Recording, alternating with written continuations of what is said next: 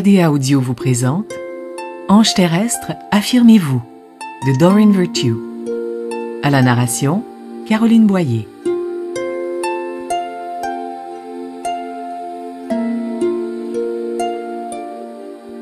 Au pouvoir de Dieu qui réside en vous et en chacun d'entre nous. Préface.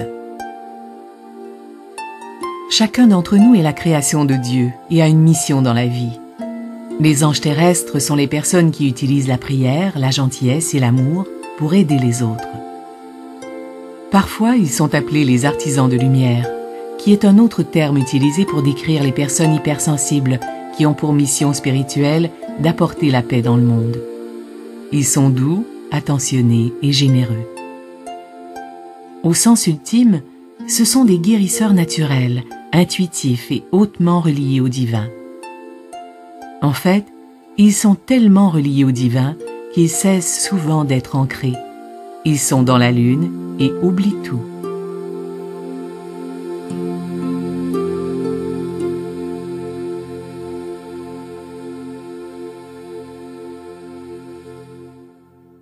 Les anges terrestres se retrouvent souvent dans une situation difficile parce que leur mission de vie est d'apporter la paix sur la terre. Ils sont des lumières envoyées du ciel pour rayonner la paix et la joie et élever la conscience et les vibrations des autres. Ils sont donc habituellement les êtres les plus gentils et aimables de la terre. En fait, ils sont fiers d'être gentils dans les situations les plus difficiles. Toutefois, vous n'êtes pas ici pour permettre aux gens d'avoir un comportement égocentrique. En cédant constamment dans toutes vos relations, vous pourriez souffrir d'un déséquilibre, dont les symptômes sont le ressentiment, la fatigue, les problèmes d'argent, les problèmes de santé. Une partie de votre mission de vie consiste à apprendre à établir des limites saines avec les autres. Il faut aimer les gens d'une manière saine plutôt que de les surprotéger.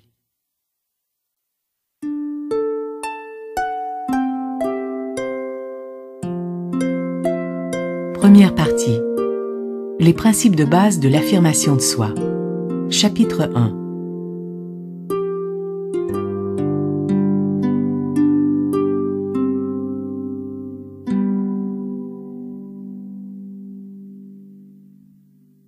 Tout a commencé par le traumatisme originel.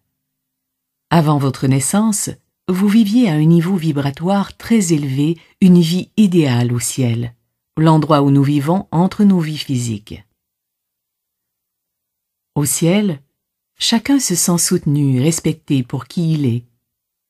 La gentillesse et la considération prévalent et une patience infinie règne. Tout le monde se comporte de manière aimante avec les autres car la plupart des êtres ont pris conscience qu'ils ne forment qu'un. Ils savent donc que la façon dont ils traitent les autres est en fait la façon dont ils se traitent eux-mêmes. Le traumatisme originel Après votre naissance, le bébé que vous êtes cherche autour de lui cet amour inconditionnel que vous receviez au ciel. Vos parents vous aiment, mais comme tous les êtres terrestres, leur cœur est en partie fermé. Comme tout le monde, vos parents ont des peurs qui les empêchent de faire entièrement l'expérience de l'amour. Vous entrez immédiatement en état de manque, comme un toxicomane qui arrête du jour au lendemain de consommer de la drogue. Paniqué, vous criez Où est l'amour? en cherchant désespérément ce doux sentiment de pur bonheur et de joie que vous ressentiez au ciel. Vos parents font de leur mieux pour que vous soyez heureux, mais vous savez inconsciemment qu'il vous manque quelque chose. Vous passez donc votre vie à chercher ce sentiment d'approbation, de sécurité, de paix et d'amour. Vous pourriez le retrouver temporairement dans les relations, dans la nourriture, dans l'alcool ou dans les drogues. Certaines personnes trouvent ce pur bonheur dans la nature, dans les activités physiques, dans les rapports sexuels, dans le magasinage ou dans les activités créatives. Pour la plupart, il s'agit d'une fuite. Il est utile de comprendre que nous ne pouvons jamais reproduire les vibrations supérieures du ciel dans notre monde terrestre de la dualité. Le mieux que vous puissiez faire est de garder dans votre cœur la porte ouverte au ciel, cela vous permet de ressentir chaque jour un doux sentiment d'amour, peu importe ce qui se passe dans votre vie ou dans le monde. Vous vous approchez de ces sentiments célestes quand vous donnez et recevez de manière équilibrée. Quand vous donnez seulement, vous vous excluez du sentiment que vous méritez et avez besoin vous aussi d'être aimé. L'idée est donc de vous concentrer à servir et à donner à partir de votre âme, et vous êtes inclus. Donnez simplement. En tant qu'ange terrestre, nous sommes ici pour donner, aider et guérir. Et la raison pour laquelle nous donnons est ce qui fait la distinction entre créer une vie de bonheur pour nous et les autres et vivre comme une victime ou un martyr en détresse. Ne donnez que parce que vous êtes sincèrement heureux de le faire. C'est ainsi que vous trouverez votre pur bonheur céleste. Voici une bonne règle à appliquer dans votre vie. Ne faites rien que vous n'avez pas envie de faire. N'accomplissez tout simplement pas l'action, ou encore allez méditer et prier jusqu'à ce que vous changiez d'idée et que vous soyez heureux de l'accomplir.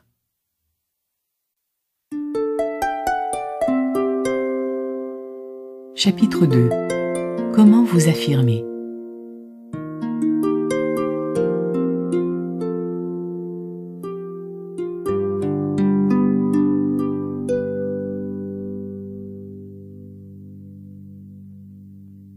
L'affirmation de soi signifie que vous êtes clair, honnête et direct avec les autres. Laisser sous-entendre les choses en espérant que la personne va comprendre ne fonctionne jamais. Vous devez exprimer clairement vos sentiments. Vous pourriez avoir peur que les gens vous quittent si vous dites la vérité. Avoir la phobie des conflits peut vous empêcher d'accomplir la mission très importante pour laquelle vous êtes né. Pour accomplir votre travail d'artisan de lumière, vous devez réveiller votre pouvoir et vous en approprier. Si cela vous semble effrayant ou dangereux, de grâce, cheminez avec moi. La peur vient de votre ego et de vos expériences de vie antérieures, et n'est pas basée sur la réalité. Rappelez-vous que si la Terre était parfaite, vous et moi n'aurions pas besoin d'être ici dans un corps physique. Mais comme les humains entendent rarement les anges, nous sommes donc envoyés sur la terre pour prendre la parole et agir de manière à accomplir la volonté de Dieu en matière de paix. Être passif ne fait pas partie de notre description de tâche.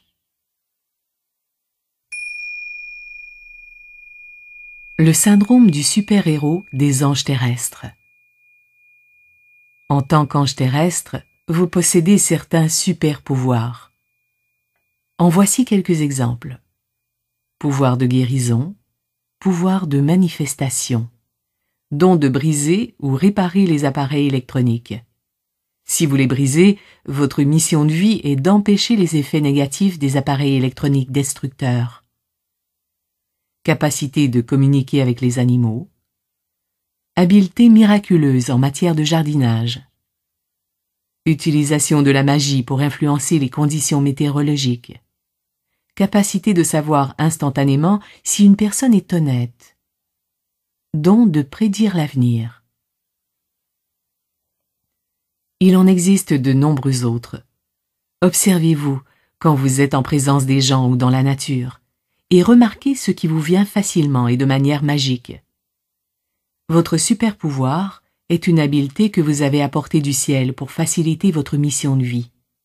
Par exemple, si vous avez le don de prédire ou d'influencer le temps, votre mission est de protéger les gens des tempêtes majeures. Retirez votre cape. Même les super-héros ont besoin d'une journée de congé. En tant qu'ange terrestre, nous sommes excessivement forts sur le plan émotionnel et physique. Nous sommes habitués d'être ceux qui aident dans les relations et ceux qui vont à la rescousse de tout le monde. Mais même si vous avez les épaules larges et un grand cœur, vous devez apprendre à dire non, surtout à des demandes qui nécessitent beaucoup trop de votre temps. Après tout, le temps est votre plus grande ressource pour accomplir votre mission de vie. Comment ne pas vous laisser marcher sur les pieds? Face à un danger, toute créature vivante se défend. Il s'agit d'une réaction innée qui vise à assurer la survie à tout être physique. Il n'y a donc aucun mal à reconnaître que vous possédez un mécanisme de défense.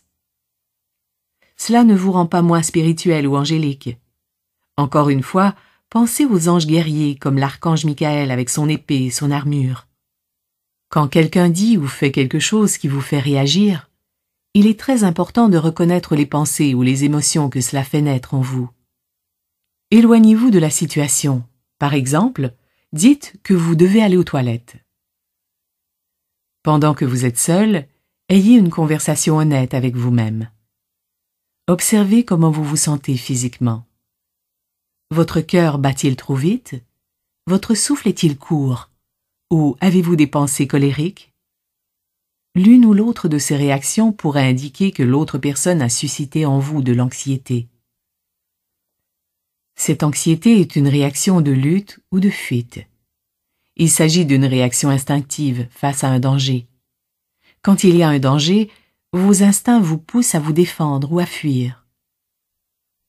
Pendant que vous êtes seul et que vous méditez, il est judicieux de prier pour recevoir de la guidance, du soutien et de la paix. Vous voulez être honnête avec vous-même et avec les autres, mais vous ne voulez pas que la situation prenne des proportions insoupçonnées ou crée de la rancœur. Chaque fois que nous évitons un conflit en ne dévoilant pas nos sentiments, c'est une forme de malhonnêteté et de manipulation. Nous essayons de contrôler les réactions de l'autre personne en contrôlant ce que nous lui disons. Après avoir pris conscience de vos pensées et de vos sentiments, allez vers la personne et dites-lui cette phrase magique. J'aimerais discuter de certaines choses avec toi. Cette phrase non menaçante permet de maintenir la communication ouverte parce que l'autre personne ne se sent pas accusée. Commencez en prenant une profonde respiration et en priant en silence pour avoir de la force et l'esprit clair. Regardez la personne dans les yeux et dites-lui du fond de votre cœur et sans vous excuser Notre relation me tient vraiment à cœur. Alors, j'ai besoin d'exprimer mes sentiments pour que tout soit bien clair entre nous. L'autre personne pourrait se sentir menacée et se tenir sur la défensive, ou même argumenter. Ne vous laissez pas désarçonner par cela. Toutefois, n'essayez pas de négocier avec une personne violente, surtout si elle est en état d'ivresse ou sous l'emprise de la drogue. Si elle vous agresse, partez immédiatement et allez chercher de l'aide ou de la protection. En vous efforçant de demeurer calme pendant que vous exprimez et admettez vos sentiments, utilisez des phrases telles que je ressens, je me suis senti, pour moi. Ainsi vous ne pointez pas du doigt l'autre personne et évitez qu'elle se tienne sur la défensive. Sans exagérer vos émotions, n'amoindrissez ni ne dénigrez vos sentiments et surtout ne vous en excusez jamais. Rappelez-vous ceci. Vous avez le droit de ressentir ces émotions, même si l'autre personne ne les comprend pas ou ne les approuve pas. Vos sentiments sont les signaux des vérités profondes qui résident en vous. Ils sont le langage de votre âme ils ont besoin que vous soyez à leur écoute. Ensuite, laissez l'autre personne s'exprimer. Il y a toujours deux côtés à la médaille. Cependant, remarquez ce que vous dit votre instinct pendant que vous écoutez. Si vous avez l'impression que l'autre personne vous cache des choses ou est malhonnête avec vous, notez-le, parce que c'est sans doute le cas. Plus vous apprendrez à vous affirmer, plus vous aurez le courage de dire à la personne qui vous ment ⁇ Je ne te crois pas ⁇ Mais pour l'instant, Remarquez simplement que vous avez l'impression qu'elle est malhonnête, manipulatrice ou sur la défensive. Ce n'est pas le genre de personne que vous souhaitez fréquenter. Ces relations sont imprégnées de schémas de comportement toxiques. Si l'autre personne se met à vous blâmer ou est sur la défensive, la conversation ne sera pas productive. Le blâme est un indice clé que l'ego a peur de s'exposer. Tant que l'un de vous deux blâme l'autre, ou que vous vous blâmez tous les deux, rien ne sera résolu. Les relations toxiques vont vous démoraliser à chaque fois. Ne croyez jamais que vous devez vous satisfaire d'une relation malsaine. Vous avez droit à mieux que cela. Les limites Une limite est une frontière que personne ne peut franchir ou rompre, peu importe qui est la personne ou combien vous l'aimez. Les limites servent à prendre soin de vous-même, tout comme vous vous lavez les cheveux ou vous portez des chaussures pour protéger vos pieds. Elles sont saines, normales et nécessaires. Chaque relation connaît des difficultés et nécessite que les deux personnes discutent de leurs limites personnelles. Alors, pour qu'une relation dure, ce qui compte, ce n'est pas de savoir si vous avez un conflit, mais la façon dont vous allez composer avec le conflit. Les limites personnelles déterminent votre espace physique et la distance qui vous est nécessaire entre les autres et vous. Le temps que vous préférez passer seul. La tendresse et l'amour dont vous avez besoin. Le besoin qu'on ne touche pas à vos objets personnels l'importance de vous accorder à l'honnêteté, à la fiabilité et à la sobriété au sein de la relation. Combien l'équité financière importe pour vous, et ainsi de suite. Pour être un ange terrestre qui s'affirme, vous devez apprendre à avoir la force et le courage de maintenir vos limites. Tel un jeune enfant dont vous vous occupez, votre moi intérieur compte sur votre moi extérieur pour qu'il prenne soin de lui. S'il est fatigué ou qu'il a besoin de s'amuser, votre moi extérieur devrait respecter cela et ne pas pousser votre moi intérieur au-delà de ses limites. Même si l'autre personne est déçue ou même fâchée que vous lui disiez non, sachez qu'elle comprend. Même si votre refus la déçoit, au fond d'elle-même, elle va vous respecter. Quand vous dites non, vous montrez aux autres à avoir un comportement sain mais votre refus pourrait les surprendre ou les piquer au vif. Cependant, ne vous sentez pas obligé d'expliquer la raison de votre refus. Plus vous donnez d'explications, plus vous donnez d'arguments à l'autre pour qu'il vous manipule et vous fasse changer d'idée. En ayant des limites, vous montrez aux autres ce que vous allez accepter et refuser dans la relation. Elles peuvent être exigeantes, mais elles sont nécessaires pour développer une relation saine avec vous et avec les autres. Ne laissez pas les autres déterminer votre emploi du temps. Par exemple, vous avez le droit de ne pas répondre au téléphone ou à la porte et de ne pas vous sentir obligé de répondre immédiatement au courriel ou aux messages affichés dans les médias sociaux. Si quelqu'un vous demande de cesser votre activité pour aller le reconduire à l'autre bout de la ville, vous avez le droit de dire non nous devons surmonter notre tendance à aller à la rescousse de tout le monde, sauf s'il s'agit d'une réelle urgence et que nous nous sentons intérieurement guidés à aller aider. La source est l'unique source. Beaucoup de gens utilisent la culpabilité pour manipuler les autres et obtenir d'eux ce qu'ils veulent. Ils recourent aussi à la flatterie mélangée à la culpabilité. Par exemple, ils pourraient dire il n'y a que toi qui peux m'aider, et si tu ne m'aides pas, ça aura d'affreuses conséquences pour moi. Ceux qui jouent avec vos émotions pour obtenir ce qu'ils veulent sont des créations de Dieu, tout comme vous et les autres. Vous n'êtes pas leur Dieu, pas plus que vous êtes leur source. Alors, laissez Dieu, la source, prendre soin de chaque individu Priez pour être guidé de manière à vraiment aider les autres à acquérir de la force et à être autonome.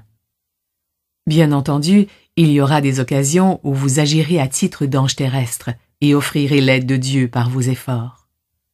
Mais ces occasions sont clairement guidées par l'amour et non la culpabilité. Quand vous ne laissez pas les autres vous manipuler, vous culpabiliser ou vous contrôler, votre moi intérieur applaudit et vous remercie. Votre estime de soi et votre confiance augmentent chaque fois que vous ne vous laissez pas marcher sur les pieds. Rappelez-vous que l'affirmation de soi ne permet pas de juger, mais tient compte des droits de tous, les vôtres et ceux de l'autre personne impliquée.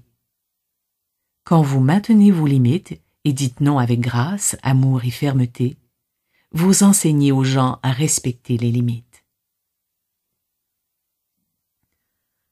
Quand vous faites respecter vos limites et que vous dites non, vous avez plus de temps à consacrer à vos passions et à vos priorités. Les limites vous permettent de jouir d'un esprit plus sain et plus heureux et d'un niveau d'énergie plus élevé parce que vous n'êtes plus obsédé par l'idée que les gens profitent de vous.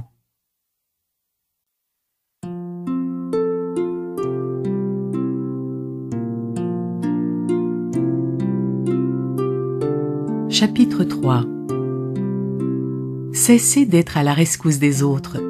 Établissez des limites sans culpabilité ou peur.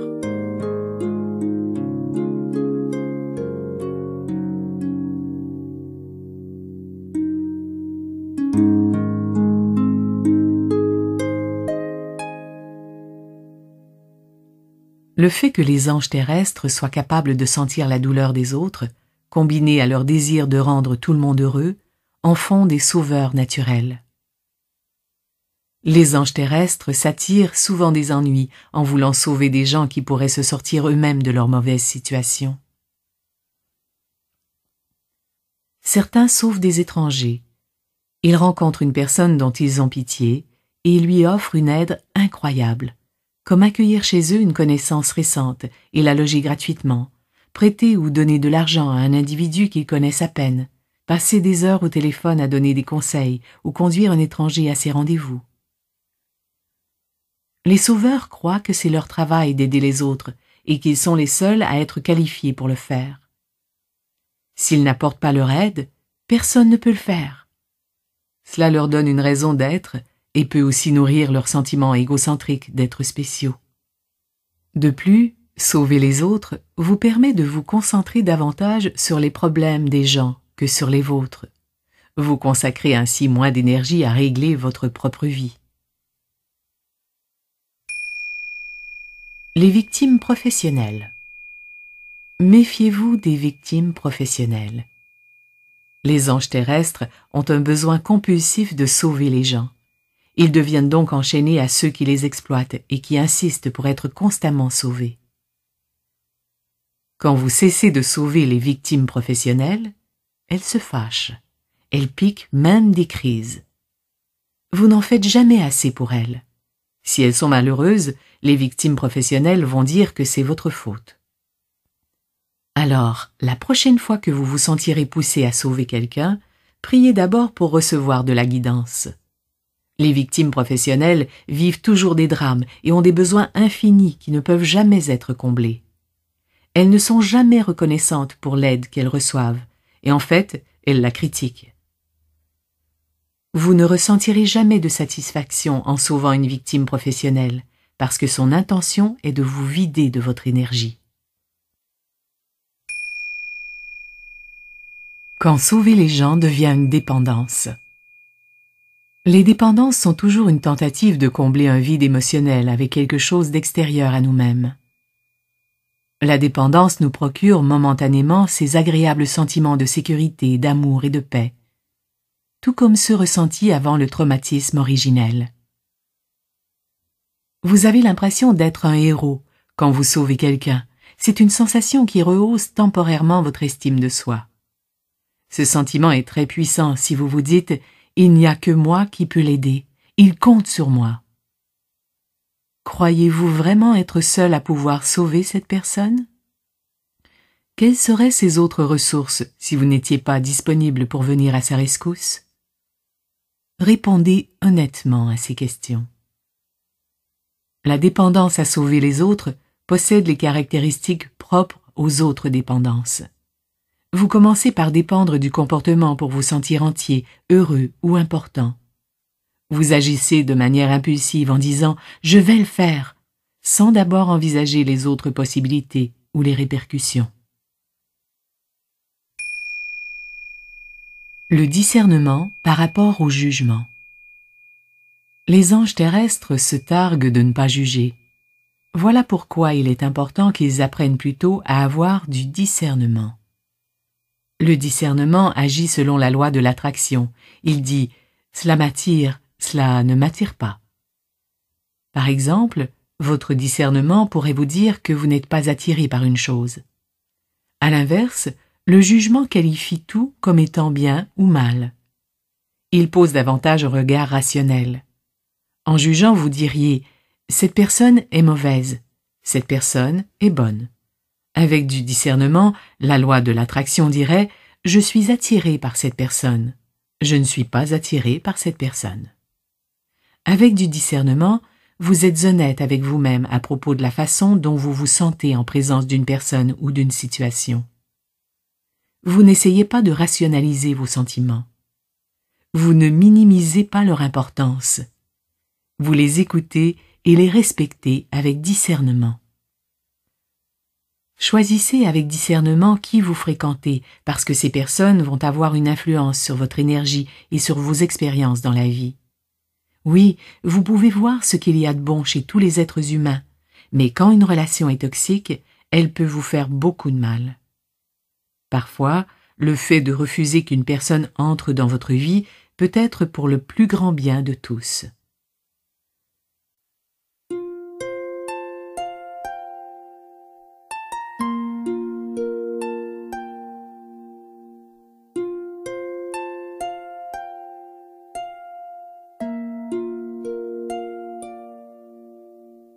Chapitre 4 Comment être gentil et aimant sans laisser les autres abuser de vous? Les anges terrestres sont gentils parce qu'ils sont très sensibles à la façon dont les énergies affectent les gens.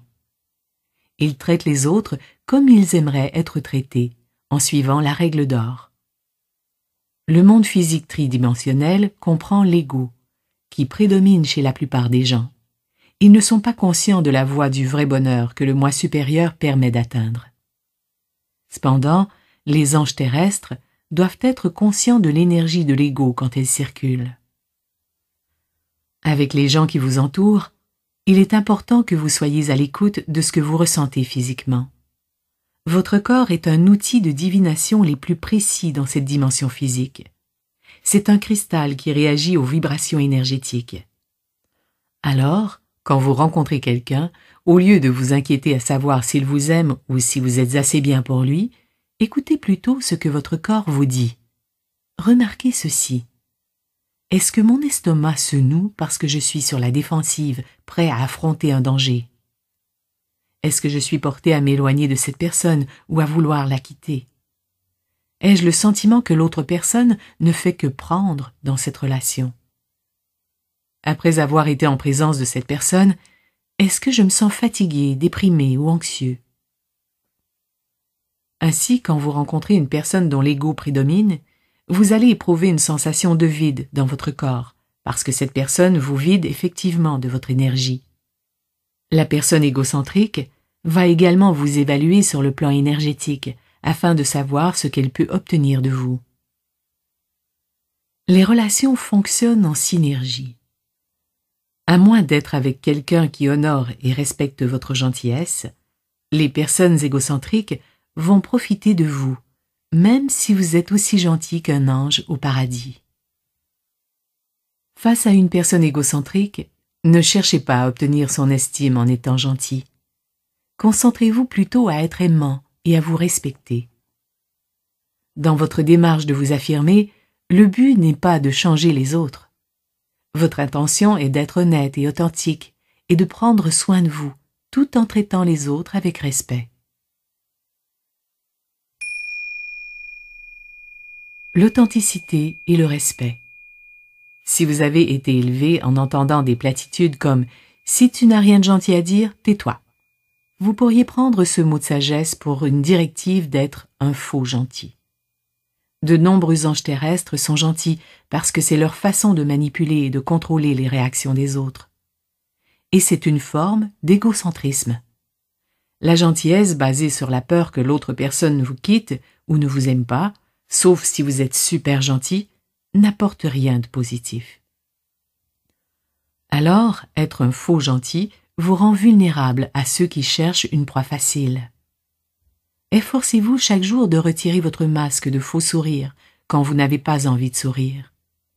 Dites quotidiennement une phrase à voix haute qui décrit comment vous vous sentez, même si vous avez peur des réactions des autres. Avec le temps, vous serez plus authentique et confiant. Au lieu de tout faire pour que les autres vous aiment, cherchez plutôt à gagner le respect des autres et à vous respecter vous-même. Le respect signifie qu'une personne vous considère comme étant responsable, fiable et vrai. Le respect et la confiance vont de pair. Tout le monde passe par la vaste gamme des émotions humaines.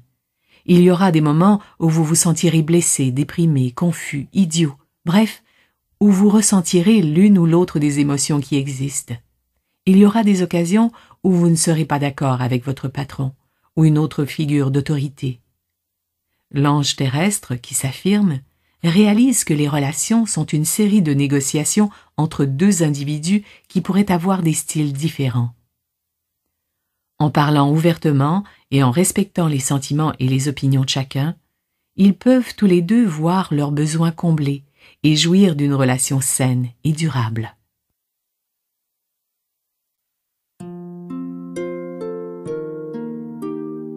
Chapitre 5 Les habiletés de communication pour les anges terrestres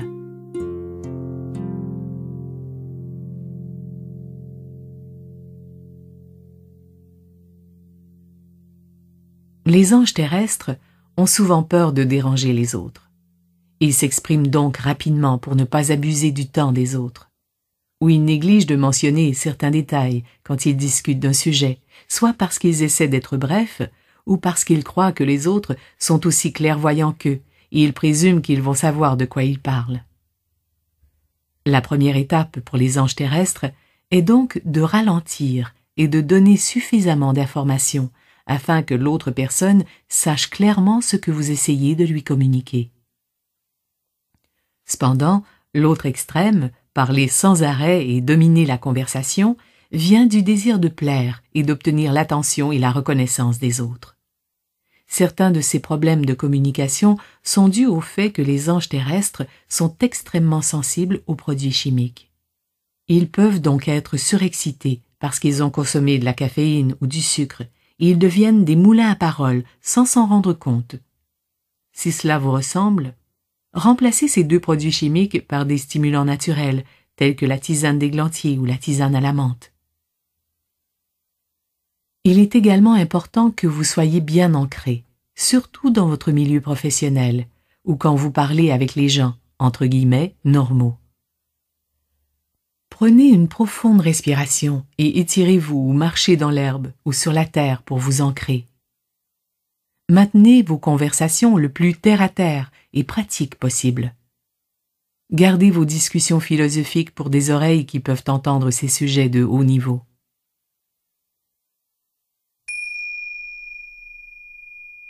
La tendance à répéter les phrases. Il arrive que l'anxiété fasse en sorte que les anges terrestres se répètent. Une des phrases célèbres des anges terrestres est ⁇ Je suis désolé ⁇ ils demandent continuellement pardon, comme s'ils s'excusaient pour leur propre existence. Le problème avec les excuses est que c'est inapproprié et que cela empêche d'avoir des conversations intelligentes. Vous devez en prendre conscience pour vous en débarrasser. Une autre tendance, c'est dire merci à répétition, surtout si quelqu'un leur fait une faveur. Cela reflète le sentiment de ne pas mériter les faveurs des autres de même que la peur de voler du temps aux autres et de les déranger. Alors, même s'il est approprié d'exprimer votre gratitude quand quelqu'un vous aide, soyez conscient qu'il n'est pas naturel ni nécessaire de remercier constamment une personne. Cela peut même devenir agaçant. Une autre phrase que les anges terrestres répètent souvent est Es-tu fâché contre moi? Les anges terrestres se sentent personnellement visés pour tout y compris quand une personne est silencieuse ou a besoin d'espace. Quand les anges terrestres sentent qu'une personne est plus distante, leur première impulsion est de s'accrocher davantage et de se faire rassurer qu'elle les aime toujours et qu'elle n'est pas fâchée contre eux. Si vous vous sentez négligé dans votre relation ou si vos besoins ne sont pas comblés, la meilleure chose à faire est de vous asseoir avec l'autre personne et de dire Est-ce que tout va bien dans notre relation? Puis taisez-vous et laissez-la parler. La plupart du temps, les gens n'auront aucune idée de ce que vous parlez parce qu'ils ne sont pas du tout fâchés contre vous. Vous devez vous respecter et respecter vos besoins, et vous méritez d'être dans une relation où ils sont comblés.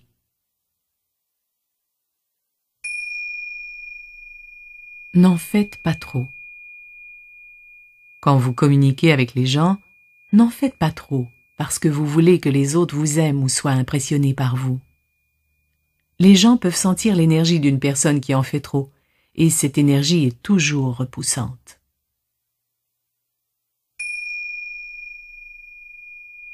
La tendance à se plaindre. Avez-vous tendance à vous plaindre beaucoup? Vous n'êtes ni une victime, ni un enfant. En tant qu'adulte, vous pouvez faire des choix pour changer votre vie. Quand vous vous plaignez, est-ce pour attirer la sympathie des autres ou pour trouver des solutions?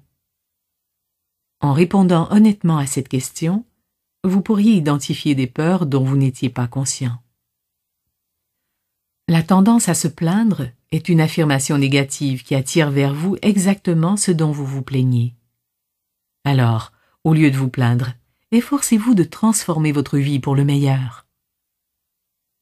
Durant une conversation, soyez vrai et authentique. Donnez suffisamment de détails afin que la personne sache de quoi vous parlez. Pendant que vous parlez, prenez le temps de respirer. Soyez à l'écoute et prêtez attention à ce que l'autre dit. Mais surtout, soyez à l'écoute de vos propres sentiments pendant que vous conversez. Parce que les plus importantes conversations que vous aurez jamais sont celles avec votre vrai moi et avec Dieu.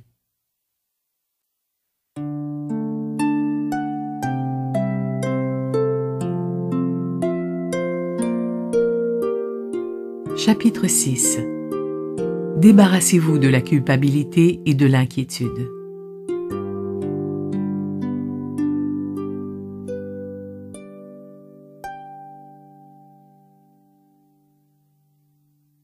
Les anges terrestres éprouvent couramment de la culpabilité et de l'inquiétude. Nous allons examiner chacune d'entre elles dans le présent chapitre. La culpabilité. La culpabilité est une énergie dont la vibration est très basse. Les anges disent que la culpabilité coupe les ailes des artisans de lumière. Elle nous rend moins efficaces dans notre travail de guérison et de manifestation. Vous éprouvez de la culpabilité quand vous faites quelque chose que vous croyez être mauvais. Par exemple, si vous croyez qu'il est mal de manger de la malbouffe, de boire de l'alcool, de tromper votre partenaire, de tricher à un examen, et que vous faites ces choses de toute manière. Tant que vous allez adopter des comportements pour lesquels vous ressentez un malaise, il en résultera de la culpabilité. Alors, si vous adoptez des comportements qui créent un malaise en vous, il y a deux façons de composer avec la situation.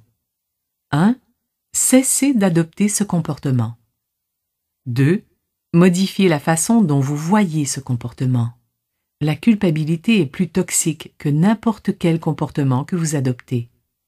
Alors, méditez, priez, faites des recherches, parlez à des personnes de confiance et suivez d'autres étapes saines pour ajuster vos croyances à propos de ce comportement de manière à ce que vous puissiez vraiment l'adopter sans vous sentir coupable.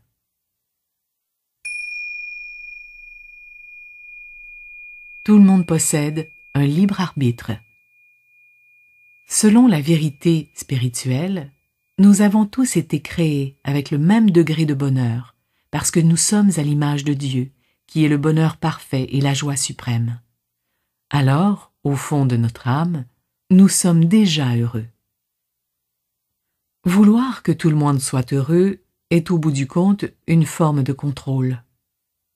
Vous décidez pour les autres dans quel état émotionnel ils devraient être puis vous pourriez exercer de la pression sur eux pour qu'ils suivent votre conseil afin de se sentir heureux. C'est très déplacé, et c'est un peu comme si vous vous preniez pour Dieu. Chacun fait ses propres choix, et même si vous pouvez être une influence positive et un modèle pour les autres, c'est à eux de choisir d'être heureux ou pas. Aimer signifie respecter les choix des autres. Bien entendu, Si un être cher sombre dans une profonde dépression, vous devriez intervenir et aller chercher une aide professionnelle. La dépression peut avoir de graves conséquences sur la santé et mener au suicide. Mais quand une personne est moyennement triste, donnez-lui de l'espace pour qu'elle se fasse sa propre idée à savoir si c'est ainsi qu'elle souhaite vivre. Vous n'êtes pas responsable de son bonheur. Et le fait d'en prendre conscience est très libérateur.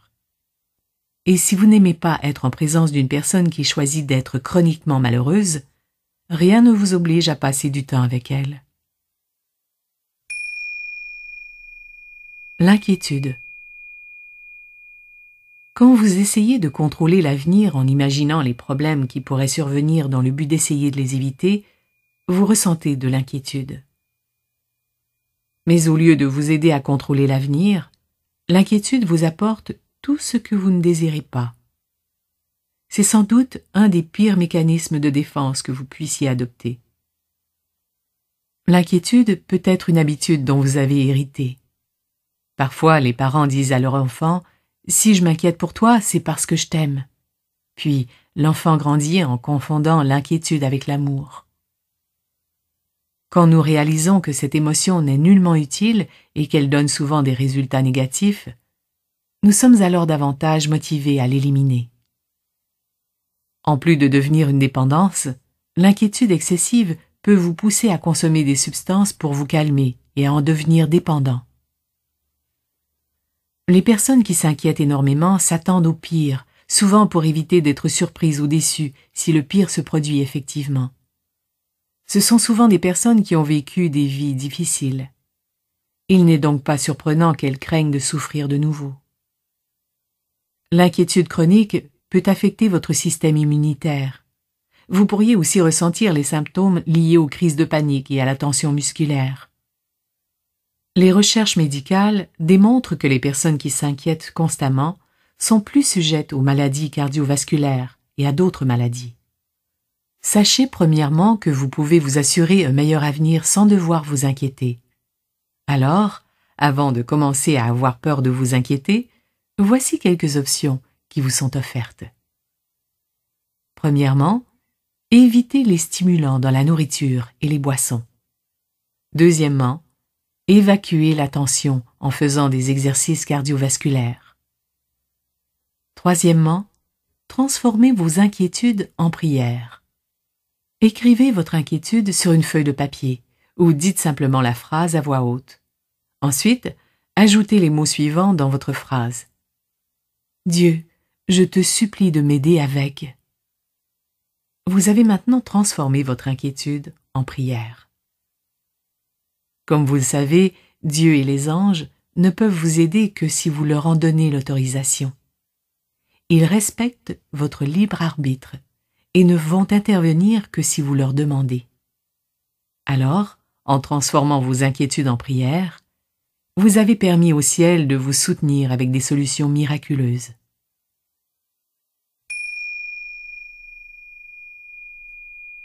La nuit obscure de l'âme pour la plupart des gens, la nuit obscure de l'âme signifie faire face à des questions de vie ou de mort et à se demander si la vie vaut la peine d'être vécue.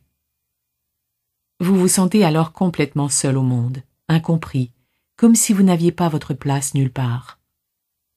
Certaines personnes ne survivent pas parce qu'elles décident que la vie ne vaut pas la peine d'être vécue et elles se suicident. Dans certains cas, ce suicide s'effectue lentement, la personne consomme des substances toxiques pour se tuer graduellement. Mais si vous pouvez accepter les émotions, y compris les plus douloureuses, la nuit obscure de l'âme peut en fait élever votre vie à un niveau de clarté supérieur. Personne ne souhaite connaître cette expérience, et ce n'est pas une chose que vous pouvez créer artificiellement. Cela se produit essentiellement au moment où vous vous en attendez le moins habituellement parce qu'une chose a réveillé en vous des émotions profondes et sombres. Comme chaque aspect de la vie, une nuit obscure de l'âme est utile et sert à guérir. Elle est un miroir dans lequel vous voyez ce que renferment les peurs de votre ego. Une grande partie des émotions douloureuses que vous ressentez sont liées à des situations qui ont eu lieu durant votre enfance.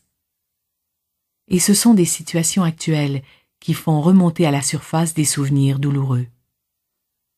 N'engourdissez pas votre douleur ou ne fuyez pas vos émotions. Vous avez des leçons à en tirer.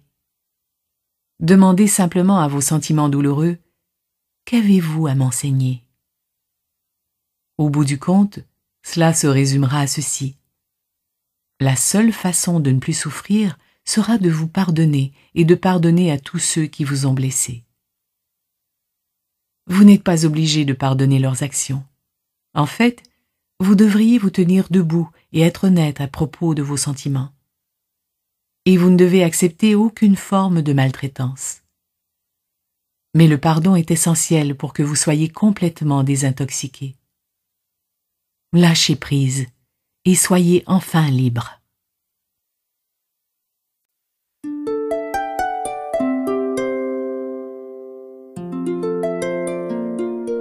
Chapitre 7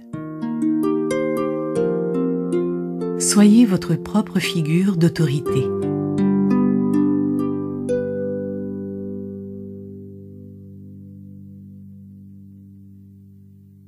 Les gens me demandent souvent si un rêve qu'ils chérissent leur permettra de réussir dans la vie.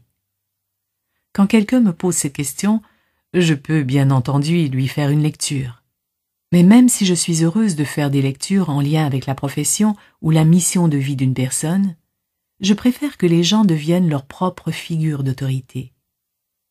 Car ce qui me dérange durant ces lectures, c'est le sentiment que la personne remet son pouvoir entre mes mains. Je fais donc toujours de mon mieux pour l'aider à se réapproprier son pouvoir.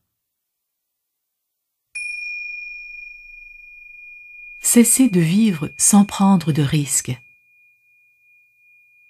Ne pas oser prendre des risques dans la vie ne mène nulle part. Respecter les règles ne vous donne pas un A plus dans la vie. Il n'y a personne dans le ciel muni d'un carnet qui évalue vos actions. Bien sûr, en tant qu'ange terrestre, nous avons pour mission d'apporter plus d'amour dans le monde et d'éviter de faire du mal aux autres. Mais sachez que tout rêve est réalisable. Il n'existe vraiment aucun empêchement. 99% des blocages qui vous empêchent d'atteindre votre rêve viennent de vos propres peurs. Et ces peurs sont des projections que vous placez sur votre chemin en vous inquiétant à propos de l'avenir. Et dites-vous bien que nous croisons toujours sur notre chemin nos inquiétudes à propos de l'avenir. Le secret de la réussite. Tout ce à quoi vous rêvez et pour lequel vous êtes prêt à faire des efforts et à prendre des risques réussira. Dieu est votre employeur. Vous pourriez dire que nous, les anges terrestres, travaillons pour Dieu Inc. Et comme dans toute bonne entreprise dotée d'un grand sens éthique, tous les employés de Dieu Inc. ont droit à beaucoup de soutien et sont bien outillés. Tout ce que vous devez faire pour gravir les échelons et recevoir de merveilleuses tâches à accomplir, ainsi que des augmentations de salaire et des promotions, est de suivre la guidance que vous recevez en tant qu'employé de Dieu Inc. Avez-vous déjà travaillé pour une entreprise où il y avait un employé qui rouspétait devant chaque tâche qui lui était assignée? Cet employé recevait-il de la reconnaissance ou des augmentations de salaire? Habituellement pas. Les employés qui reçoivent des promotions et des augmentations de salaire sont ceux qui ont un esprit d'équipe et qui suivent les directives des gestionnaires. Il en est de même avec Dieu Inc. On vous donne des tâches à accomplir et elles peuvent sembler n'avoir aucun lien avec vos objectifs de carrière. Par exemple, vous pourriez ressentir un urgent besoin de cesser de boire de l'alcool ou de devenir végétarien. Vous pourriez être appelé à déménager dans une autre ville à abandonner certaines relations toxiques ou à commencer à pratiquer le yoga. Ce sont là des exemples de tâches courantes demandées par Dieu Inc. Ces tâches pourraient sembler n'avoir aucun sens. Vous pourriez croire qu'elles n'ont rien à voir avec vos responsabilités. Mais si vous les accomplissez, vous en serez merveilleusement récompensé. Si vous tardez à les accomplir, ou si vous hésitez ou ruspétez à propos des tâches qui vous sont données, Ne vous attendez pas à aller très loin. Vous serez toujours aimé et respecté pour qui vous êtes, mais on ne vous demandera pas d'accomplir les tâches agréables qui s'adresseraient à votre âme. Les artisans de lumière Les anges terrestres sont parfois appelés les artisans de lumière. Donc, nous sommes ici pour travailler. Vous et moi avons des tâches importantes à accomplir. Vous ressentez sans doute en vous, de manière énergétique, la profondeur et l'ampleur de votre mission de vie. Cela peut ressembler à une pression intérieure d'aider le monde, ou une poussée à vous lever et apporter un changement positif. Être votre propre figure d'autorité signifie que vous avez confiance en cette guidance intérieure et que vous la suivez sans hésiter ou sans tarder. Alors, pour qu'il y ait un équilibre dans tout cela, premièrement, vous devez être très conscient de ce que vous ressentez sur le plan physique et émotionnel. Deuxièmement, il est important de faire des efforts quotidiens pour réaliser votre rêve. Ce que vous faites en lien avec votre rêve importe peu, tant que vous agissez chaque jour. L'approche utilisée est celle d'un travail d'équipe avec le ciel.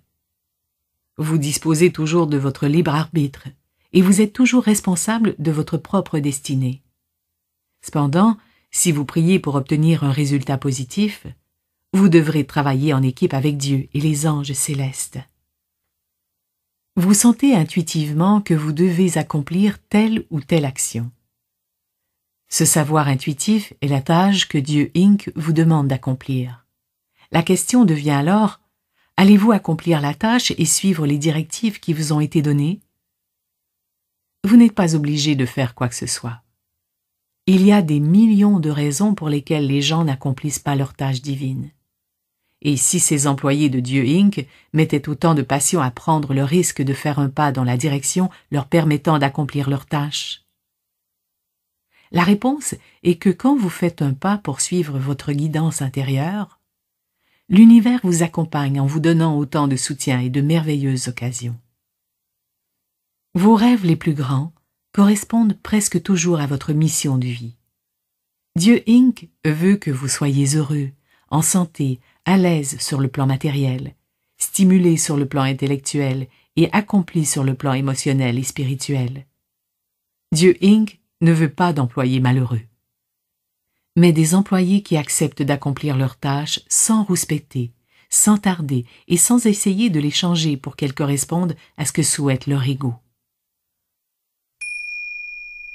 Allez-vous dire oui à Dieu? Si vous acceptez d'accomplir les tâches divines de Dieu, vous serez grandement récompensé en recevant de merveilleux défis, des occasions agréables et beaucoup de promotions et d'augmentations de salaire. Alors, en résumé, tout rêve pour lequel vous êtes prêt à faire des efforts et à agir se réalisera. Mais vous devez être prêt à passer à l'action. Toutes les personnes qui ont réussi travaillent très fort. Chaque ange terrestre est ici pour travailler. Par exemple, si votre rêve est d'être publié à titre d'auteur, les actions à suivre incluent tracer les grandes lignes du sujet que vous souhaitez explorer au moyen de l'écriture, vous asseoir sur une base régulière pour écrire, être prêt à soumettre aux éditeurs ce que vous avez écrit, sans laisser le moindre rejet vous empêcher de tout faire pour réaliser votre rêve. C'est facile d'être dépassé par l'énormité d'un rêve. C'est particulièrement vrai si vous ne savez pas exactement ce que vous allez obtenir au bout du compte. Et le fait est que chaque rêve qui doit se réaliser se manifeste toujours de manière inattendue et très créative. Alors, vous ne pouvez vraiment pas prédire dans quel méandre la quête de votre rêve va vous mener. Et rien ne garantit qu'il n'y aura aucun obstacle sur votre chemin. En fait, je peux vous assurer que vous connaîtrez des moments de déception mais ne les laissez pas vous arrêter. Votre rêve est votre bébé, et le fait que vous l'ayez en pensée en vous est une forme de gestation. Il a besoin que vous le meniez à terme en accomplissant chaque jour une action pour le nourrir, le soutenir et le rendre concret pour qu'il se réalise. En réalisant vos rêves, vous allez inspirer les autres à faire de même. Même si vous êtes convaincu d'être la personne la plus occupée du monde, entreprenez chaque jour une action liée à votre rêve. Par exemple, lire une nouvelle recherche, faire de l'exercice, écrire, consulter les spécialistes, consacrer du temps et des efforts à faire votre publicité, créer des outils de visualisation. Coller des photos et des mots sur un grand carton pour affiche, puis placer ce tableau de visualisation à un endroit où vous pouvez le voir quotidiennement. Chaque fois que vous poserez votre regard sur votre tableau de visualisation, dites en silence Merci Dieu pour ce rêve qui se réalise maintenant. Il est très important que vous visualisiez que cela se réalise dans le moment présent. Car en s'attendant à une date ultérieure, vous allez perpétuellement les maintenir hors d'atteinte, suspendus dans le futur. Même si vous ne vous sentez pas encore prêt, même si vous ne savez pas exactement ce que vous faites ou dans quelle direction vous allez, faites quelque chose.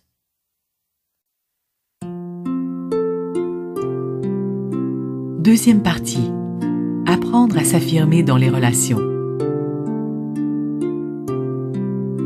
Chapitre 8. Les anges terrestres et les relations.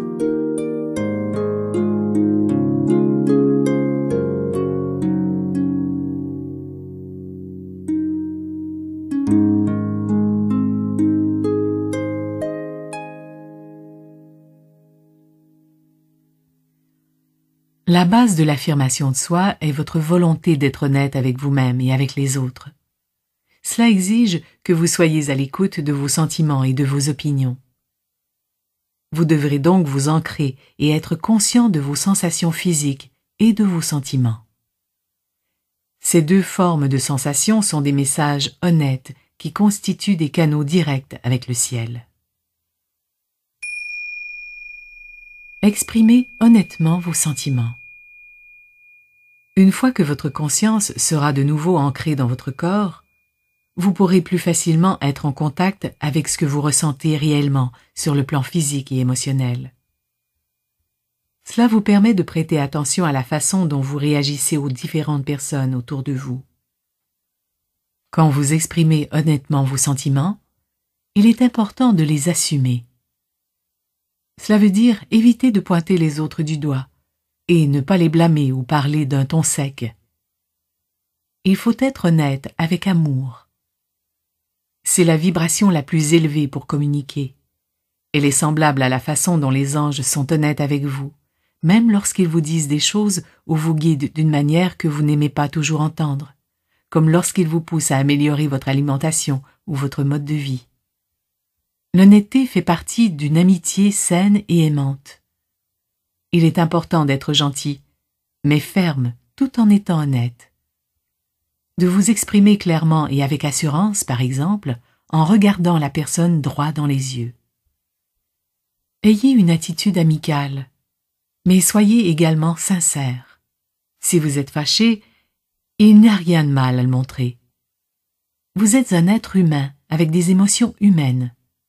Quand vous êtes vrai, les autres ont davantage confiance en vous parce qu'il voit bien que vos paroles correspondent à l'énergie que vous dégagez. La plupart des anges terrestres sont terrifiés par leur propre colère. Ils ont peur de perdre la maîtrise d'eux-mêmes. Ils expriment leur colère refoulée, alors que le fait de l'évacuer progressivement est un peu comme dégonfler lentement le ballon.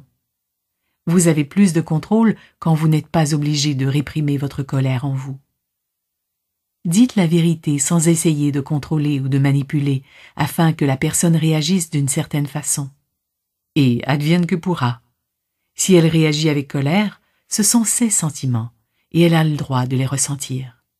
Par contre, ce qu'elle fait avec cette colère est une toute autre histoire. Vous n'avez pas à accepter l'attitude ou les paroles blessantes de l'autre, peu importe le type de relation que vous avez ou à quel point vous avez besoin de cette personne dans votre vie. Si elle crie, vous insulte ou vous menace, partez immédiatement.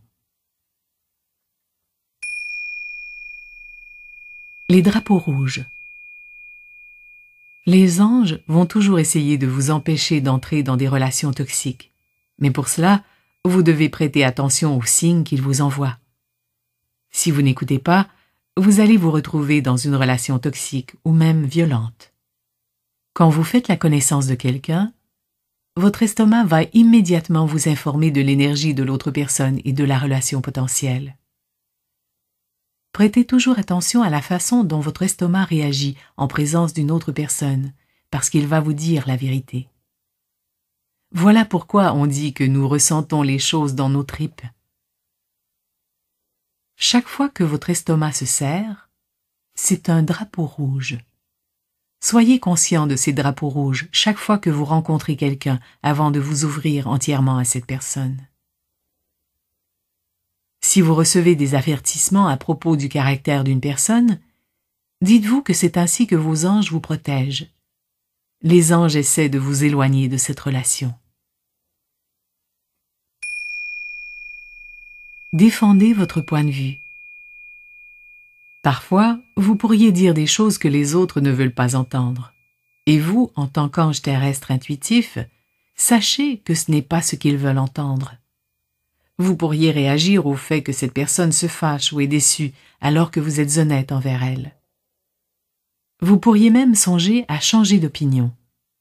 C'est ici que vous devez vous entraîner à développer votre force intérieure pour défendre votre point de vue. Bien entendu, en tant qu'ange terrestre, vous allez aussi écouter les opinions des autres. Vous allez leur offrir le respect que vous voulez recevoir, mais vous serez attentif au piège dans lequel les personnes sensibles tombent parfois en taisant leurs opinions et leurs sentiments parce que l'autre personne se met à parler plus fort. Ne cédez pas parce que la personne vous engueule ou donne ses opinions sur un ton agressif. Ne vous lancez pas dans une lutte de pouvoir.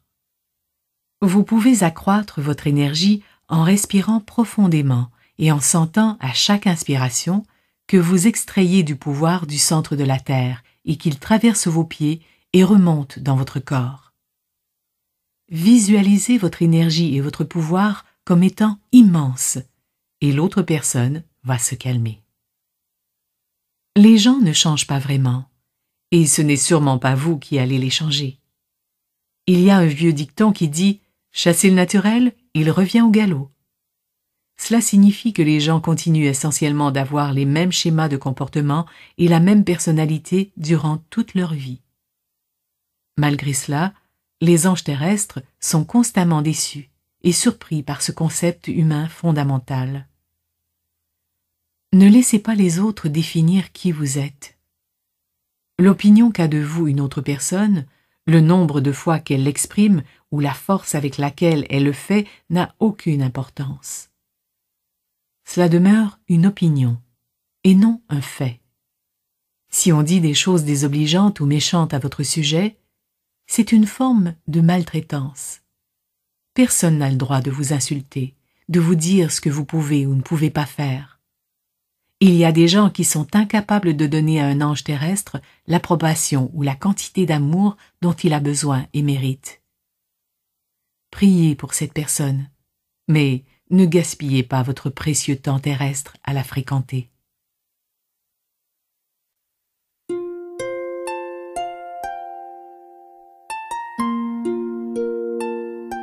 Chapitre 9 Les relations toxiques Comment les identifier et composer avec elles Les anges terrestres sont des personnes gentilles qui ont un grand cœur. Ils tolèrent les relations difficiles et même les relations de violence parce qu'ils ont peur d'être seuls, d'avoir tort ou d'être jugés. Ils ignorent volontairement les mauvais traitements en se dissociant de leurs sentiments. Et cela n'est bon pour personne. Vous n'êtes plus à l'écoute de votre corps physique ce qui peut vous pousser à trop manger sans réaliser que vous êtes rassasié. Cela peut aussi vous pousser à ignorer les symptômes qui doivent être traités immédiatement. La dissociation vous empêche aussi de sentir vos émotions. Quand vous êtes engourdi, vous ne pouvez pas entendre les messages de vos anges. Votre sensibilité est éteinte et comme les messages célestes vous sont transmis sur la fréquence correspondant à votre degré d'harmonisation avec l'énergie, vous devez être en contact avec vos émotions. En tant qu'ange terrestre, vous enseignez aux autres la paix. Si vous supportez le traitement violent que les autres rejettent, comment vont-ils apprendre? De même, si quelqu'un vous traite mal, dites-vous qu'il traite les autres de la même manière. En lui montrant une meilleure façon de se comporter, vous pouvez éviter que d'autres personnes soient maltraitées. Le comportement violent est toxique. Quand vous faites la connaissance d'un individu, il se montre toujours sous son meilleur jour. Dans n'importe quelle relation, il y a une synergie entre deux personnes. À moins d'être tous les deux authentiques, vous ne savez pas si vous interagissez bien. Si vous n'exprimez pas vraiment vos sentiments et vos opinions, et si vous faites semblant d'être poli et sincère, il n'y a pas de vraie relation. La plupart des anges terrestres ont vécu des expériences douloureuses et ils souffrent d'une faible estime de soi, en plus de penser qu'ils ne valent rien. Ils ne reconnaissent donc pas les schémas violents et toxiques dans leurs relations. Les anges terrestres ne peuvent pas s'empêcher d'accepter le comportement blessant des autres. Ils nient et excusent un tel comportement tout en souffrant en silence. En décrivant certains schémas de relations toxiques, il ne s'agit pas de juger une autre personne, mais d'être conscient de la dynamique qui règne dans la relation. Parfois, les différences de style entre vous et l'autre personne sont la cause de la mauvaise énergie de la relation. Par exemple, vous êtes une personne calme et gentille, tandis que l'autre est extraverti et dur. Vous êtes spontané et vous suivez le courant, tandis que l'autre veut toujours tout planifier et organiser. En étant conscient et honnête, il est possible de négocier de manière harmonieuse les différences de style, si chaque personne est prête à faire des compromis et à éprouver de la compassion pour le style de l'autre. Cependant, quand il y a de la violence, il faut mettre fin à la relation et entreprendre un processus de guérison.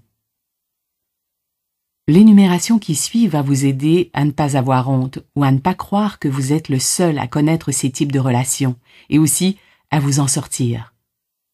Le but est de vous ouvrir les yeux et de vous offrir des suggestions pour composer avec assurance avec ces différents scénarios. Cela ne signifie pas que vous devez quitter ou abandonner quelqu'un. Cependant, vous devez prendre soin de vous et des enfants affectés par une relation toxique. La tendance à interrompre les autres. La personne qui vous interrompt constamment se soucie peu de ce que vous avez à dire. Si vous avez une relation avec une personne qui vous interrompt constamment, vous avez tendance à parler rapidement afin de pouvoir vous exprimer avant d'être interrompu. Vous commencez à vous sentir nerveux chaque fois que cette personne entreprend une conversation avec vous. Les anges terrestres qui s'affirment vont arrêter une personne la première fois qu'elle les interrompt et lui dire d'un ton calme et paisible Pardon, mais je n'avais pas fini de parler. Si vous touchez le bras de la personne en lui disant cette phrase, l'impact sera encore plus grand. Rappelez-vous que vous aidez l'autre à prendre conscience d'une habitude qui affecte sans doute toutes ses relations personnelles et professionnelles. Vous lui enseignez à mieux communiquer. La tendance à faire de la surenchère sur les autres. Les gens qui font de la surenchère sur les autres ont toujours fait mieux que vous, à une plus grande échelle, et ils tiennent à vous le dire. Dans ce genre de relation, votre corps montre des signes de tension et de ressentiment. Vous ne vous sentez pas apprécié. Vous vous sentez seul parce que la conversation est toujours à sens unique. L'affirmation de soi consiste à être honnête et à assumer la responsabilité de vos sentiments. Alors, ne pointez jamais l'autre du doigt en lui disant qu'il vous met en colère. C'est son comportement qui vous affecte. Expliquez-lui que vous aimeriez partager votre propre expérience en détail, sans que la conversation revienne immédiatement à sa propre expérience. La tendance à s'accrocher aux autres.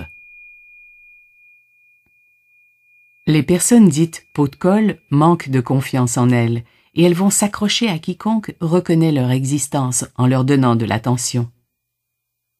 Le problème est que leur besoin est sans fond et que personne ne peut le combler.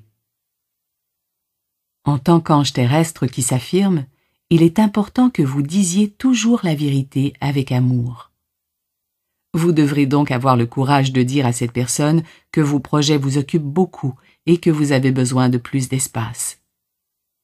Vous ne pouvez pas mettre votre vie en veilleuse pour couver quelqu'un. Vous encouragez un comportement malsain en prétendant être son ami. La tendance à engendrer de la culpabilité chez les autres.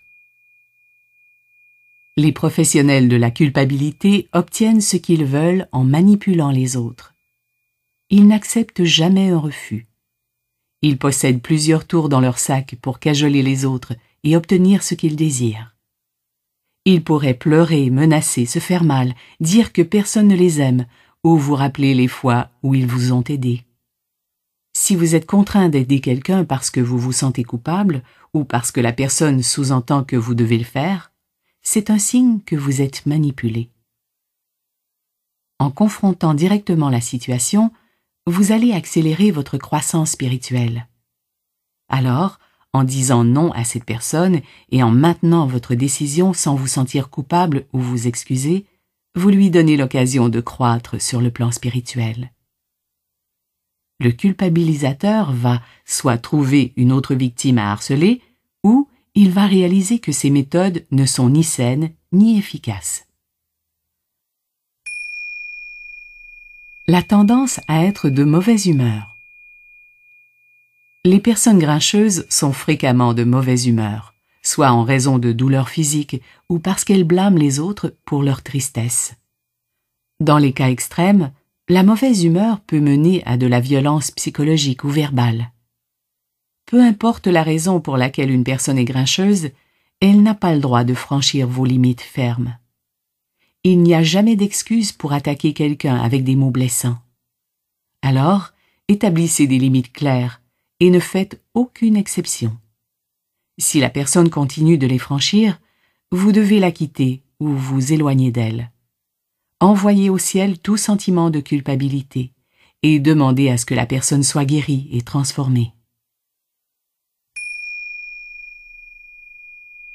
la tendance à jouer à la victime ou au martyr. Les martyrs sont des victimes et des géniards perpétuels. Leur vision du monde est que c'est eux contre le pauvre petit moi. De tels individus ont habituellement très peu d'énergie et sont au bord de la dépression. Ils ne cherchent pas de solution. Ils ne veulent que de la reconnaissance et qu'on les plaigne. Comme les victimes martyrs cherchent des sauveurs et qu'elles finissent par en vouloir à ces derniers et par les persécuter, évitez d'investir beaucoup de temps dans cette relation. Ne laissez pas les victimes martyrs vous dire comment les aider. Exprimez clairement que vous priez pour elles et que vous allez recevoir toute votre guidance directement de Dieu. Et respectez cette intention. De grâce, ne vous inquiétez pas la victime martyre a le don de trouver des sauveurs. Si vous n'assumez pas ce rôle, elle trouvera vite quelqu'un d'autre qui acceptera.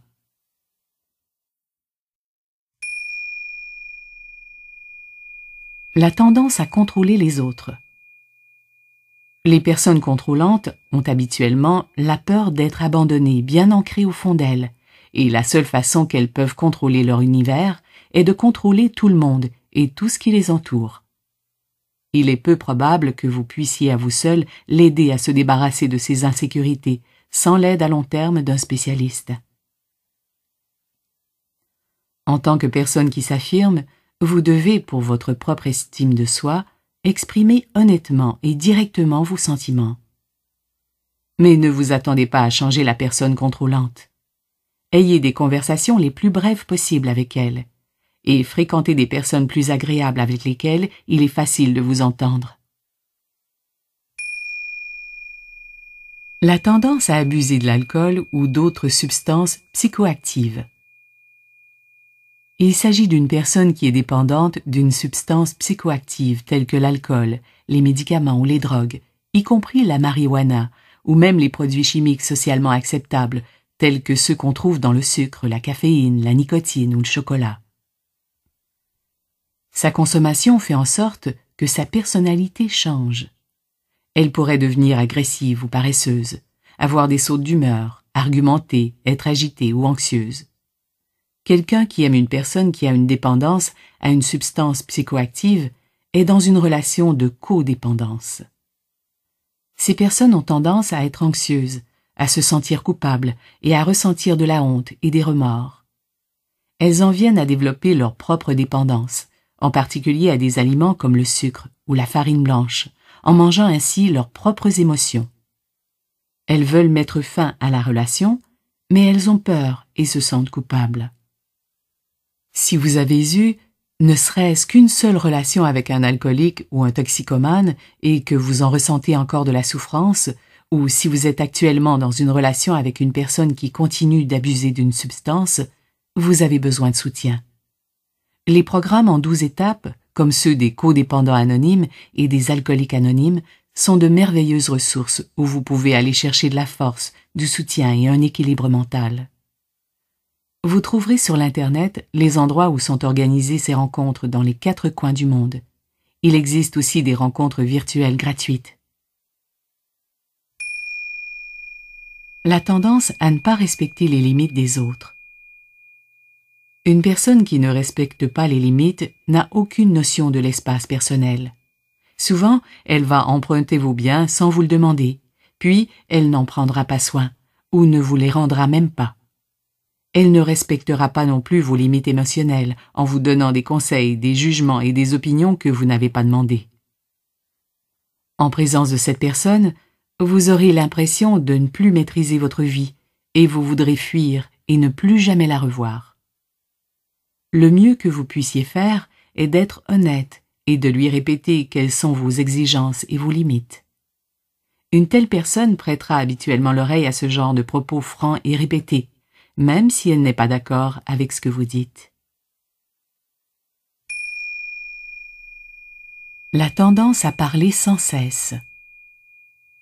Quand vous avez une conversation avec une personne volubile, on dirait qu'elle ne reprend jamais son souffle. Quand cette personne vous appelle, vous pourriez déposer le combiné et vous éloigner. La personne continuerait de parler parce qu'elle ne vous prête aucune oreille. Avec ces personnes, définissez les paramètres au début de chaque conversation en disant « Je n'ai que 15 minutes pour parler avant mon prochain rendez-vous » et respectez ces paramètres. Dites « Je dois te quitter, je t'aime, à la prochaine » puis raccrochez. Bref, exprimez clairement aux autres et dès le début ce que vous attendez de la relation. Votre ego va rouspéter et dire que vous ne pouvez pas dire la vérité aux autres, car ils vont cesser de vous aimer. Mais à moins d'exprimer votre propre vérité, vous n'êtes qu'une coquille vide pour les autres.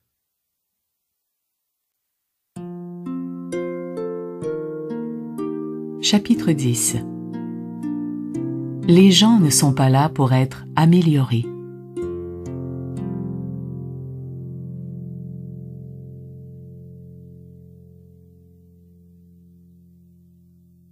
Comme les anges terrestres sont très intuitifs, ils voient souvent le potentiel chez les autres.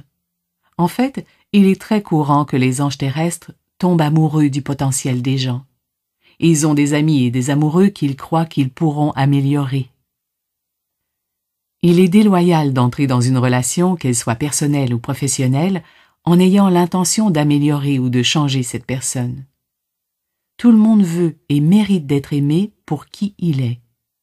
Même si tout le monde peut s'améliorer, personne ne veut être contrôlé ou se faire dire quoi faire. S'ils désirent changer, ils veulent le faire à leurs propres conditions. Ils ne veulent pas que cela vienne de quelqu'un d'autre. Votre tâche n'est pas d'améliorer ou de changer les gens. Vous pouvez les aider, vous pouvez les guérir et prier pour eux. Mais votre tâche est de vous guérir vous-même et d'être la personne la plus aimante possible durant votre vie. Aimer signifie être honnête avec les autres d'une manière pacifique. Dans les relations amoureuses en particulier, vous serez constamment frustré et déçu si vous croyez que vous pouvez tirer de la farine d'un sac de son et transformer un partenaire incompatible en votre partenaire idéal. Il est préférable d'être franc dès le début et d'exprimer vos besoins et vos désirs dans la relation. Si vous rêvez de vous marier, d'avoir des enfants et de demeurer à la maison pour les élever, dites-le à votre partenaire dès que vous vous engagez dans la relation. N'attendez pas votre deuxième anniversaire pour lui en faire part. C'est déloyal, et vous aurez tous les deux perdu votre temps et souffert d'un chagrin d'amour inutile s'il admet qu'il ne veut pas d'enfant. Les points de rupture Dans toutes les relations, il y a des points de rupture, c'est-à-dire des questions, des comportements ou des situations que vous ne supporterez pas. Voici les plus courants. La malhonnêteté, la trahison, l'infidélité, toute forme de violence. Vous pourriez en avoir d'autres. Par exemple, la personne doit être un non-fumeur, avoir une bonne hygiène, être romantique, avoir un certain revenu, être en bonne forme physique, être un bon beau-parent pour vos enfants, ne pas consommer de drogue, doit avoir des croyances spirituelles ou religieuses semblables aux vôtres. Si la personne ne possède pas les qualités essentielles que vous recherchez, c'est la fin de la relation. Pour vous, il n'est pas question de faire des compromis sur les points de rupture. Et pourtant, certains anges terrestres font un pacte secret qu'ils taisent à leur partenaire. Il croit à tort que son amour est si spécial que la personne qu'il aime va cesser de consommer de la drogue, de jouer au casino, de courir les jupons et d'autres comportements toxiques.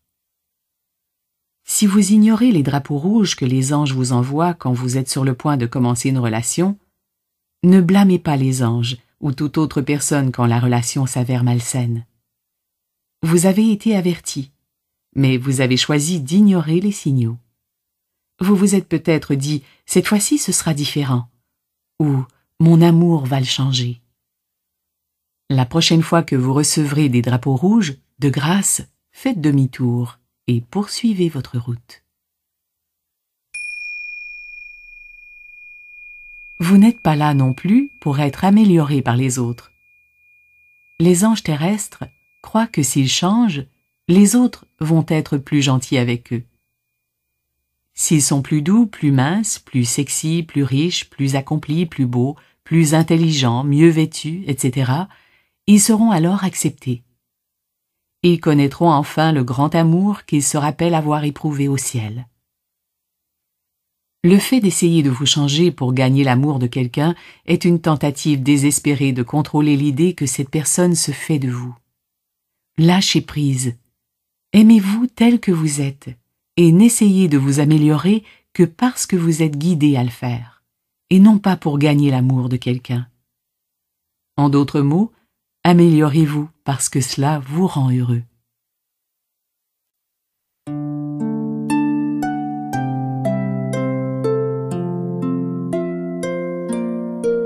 Chapitre 11 Savourez la vie au lieu de faire plaisir aux autres.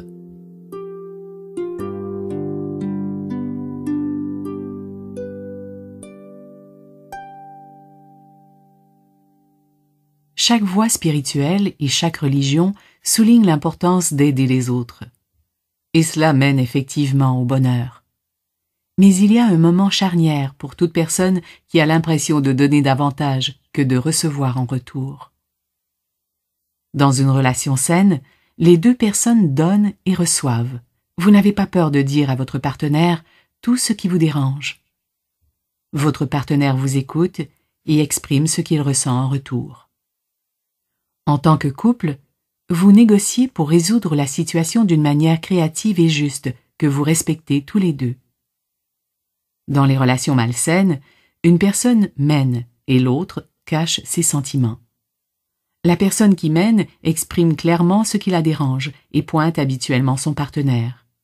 Très souvent, les anges terrestres jouent le rôle du bouc émissaire, une personne qui est blâmée pour tout.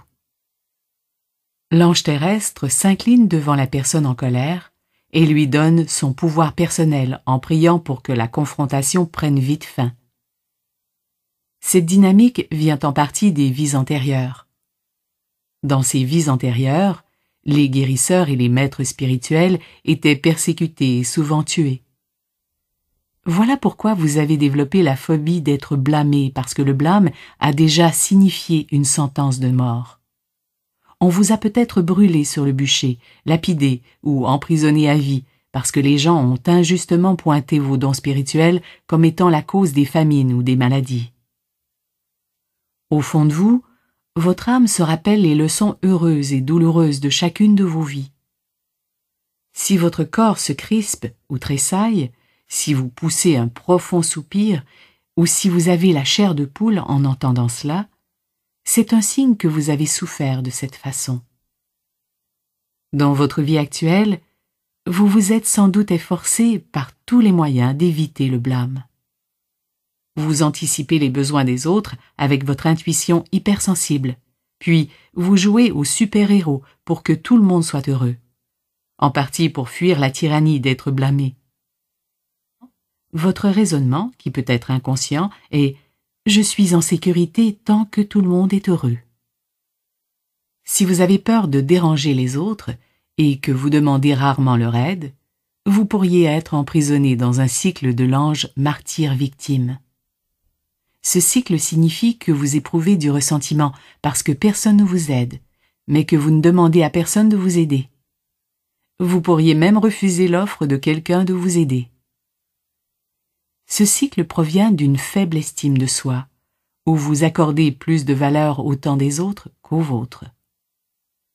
Pour renverser cette situation, il est important de commencer à accepter l'offre des gens de vous aider. Vous vous affirmerez en disant merci et en acceptant ce beau geste.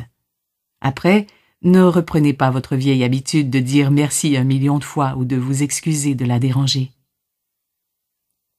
Quand vous recevez, l'autre personne a le plaisir de donner.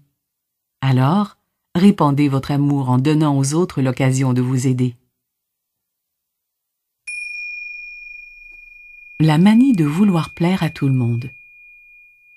Votre besoin d'approbation fait en sorte que votre bonheur repose entre les mains des autres. Personne ne mérite d'avoir ce pouvoir sur vous. Il n'y a rien de plaisant dans ce désir de vouloir plaire à tout prix. C'est une forme de contrôle et de manipulation. Elle vient de la peur et non pas de l'amour. Les personnes qui agissent ainsi ont tendance à se dévaloriser. Elles sont convaincues que les autres ne les aimeront pas si elles montrent qui elles sont vraiment. Rappelez-vous que vous êtes une création de Dieu et que vous êtes à l'image et à la ressemblance du Créateur divin. Tout ce que Dieu crée est divin et possède une beauté naturelle et un caractère unique. Vous êtes divin. Cela peut sembler contraire à la logique, mais vous vous aimerez davantage en étant sincère avec les autres. Plus vous embrassez l'être unique que vous êtes et que vous laissez vos passions et vos champs d'intérêt vous guider vers votre mission de vie, plus vous allez trouver des amis ayant la même mentalité que vous.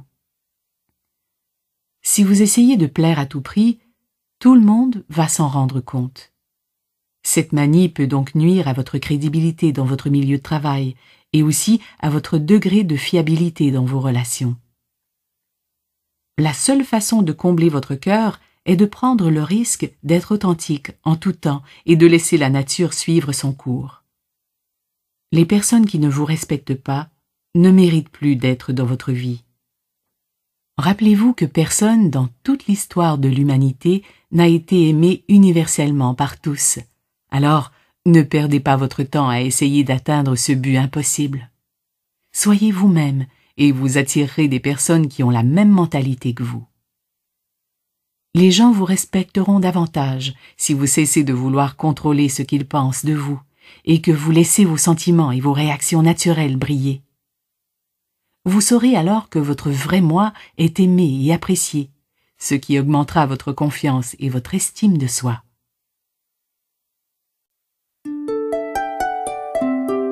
Chapitre 12 Les relations karmiques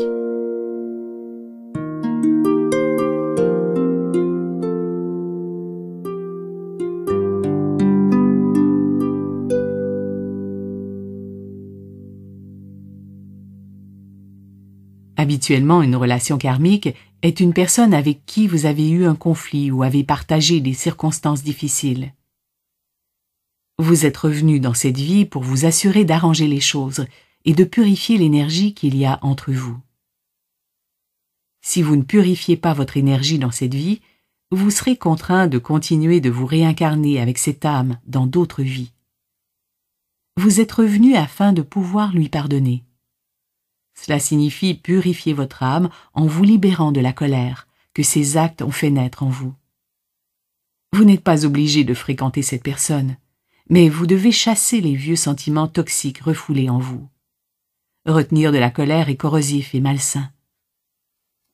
Vous gaspillez aussi votre temps et votre énergie quand vous blâmez cette personne pour les drames familiaux et votre propre contrariété. Le blâme est une projection de notre ego.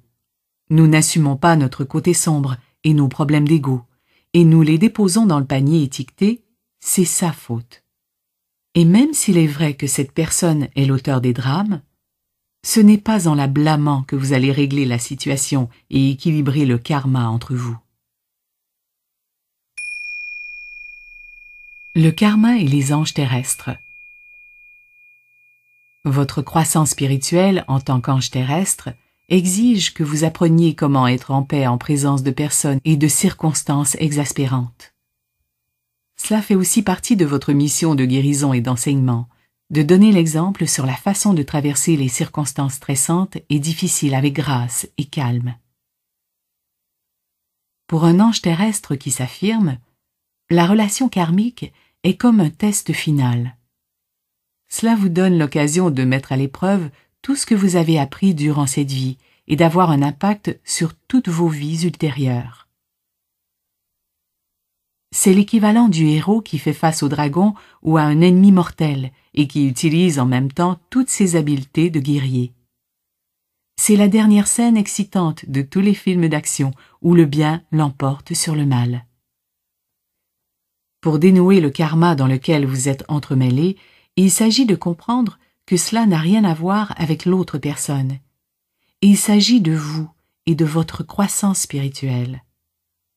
Apprenez à vous aimer et à prendre soin de vous signifie que vous devez vous investir afin d'avoir des relations plus pacifiques maintenant et dans l'avenir, y compris dans vos vies futures. Aussi agaçante que cette relation karmique soit actuellement, elle deviendra encore plus intense si elle n'est pas résolue vous avez le pouvoir d'empêcher la roue karmique de tourner.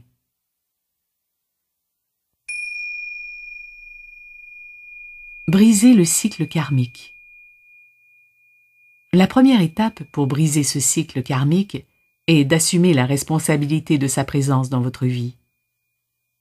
Votre âme a accepté d'être avec cette personne parce que c'était nécessaire pour votre croissance spirituelle. Alors, le secret ultime pour tout guérir dans toutes les dimensions temporelles est de vous pardonner. Cela implique que vous devez vous pardonner d'être entré dans cette relation dans votre vie antérieure. Vos anges vous avaient peut-être alors donné des avertissements, mais vous avez choisi de les ignorer. Pardonnez-vous et promettez d'écouter dorénavant. Les leçons de vie ne comptent que si nous les retenons. Le comportement de cette personne vous met effectivement en colère. Mais c'est sa personnalité, et elle a toujours agi ainsi. C'est vous qui avez choisi d'essayer d'être en relation avec elle il y a fort longtemps. C'est vous qui avez décidé que tous ces drapeaux rouges que vos anges vous ont envoyés n'avaient pas d'importance. C'est vous qui avez décidé que vous pourriez changer ou améliorer cette personne. Il est maintenant temps de cesser de rêver que cette personne pourrait être comme vous le désirez. Vous n'êtes pas sa source, pas plus que vous n'êtes l'auteur du scénario de sa vie. Rappelez-vous que l'idée est d'accroître votre pouvoir personnel et votre capacité de vous affirmer. Dans le passé, vous avez essayé divers comportements dans vos relations karmiques. Aucun n'a fonctionné. Il est maintenant temps de vous affirmer, ce qui signifie d'être honnête avec vous-même et avec les autres. Et l'honnêteté signifie que vous devez cesser de vouloir contrôler, améliorer ou changer l'autre personne. Simplement dire ce que vous pensez, puis advienne que pourra. Éviter tout contact avec la relation karmique peut fonctionner seulement si vous parvenez à avoir l'esprit en paix quand vous pensez à elle. Vous saurez que vous avez réussi à équilibrer votre karma si votre tension artérielle ne grimpe pas quand vous voyez quelque chose qui vous rappelle cette personne.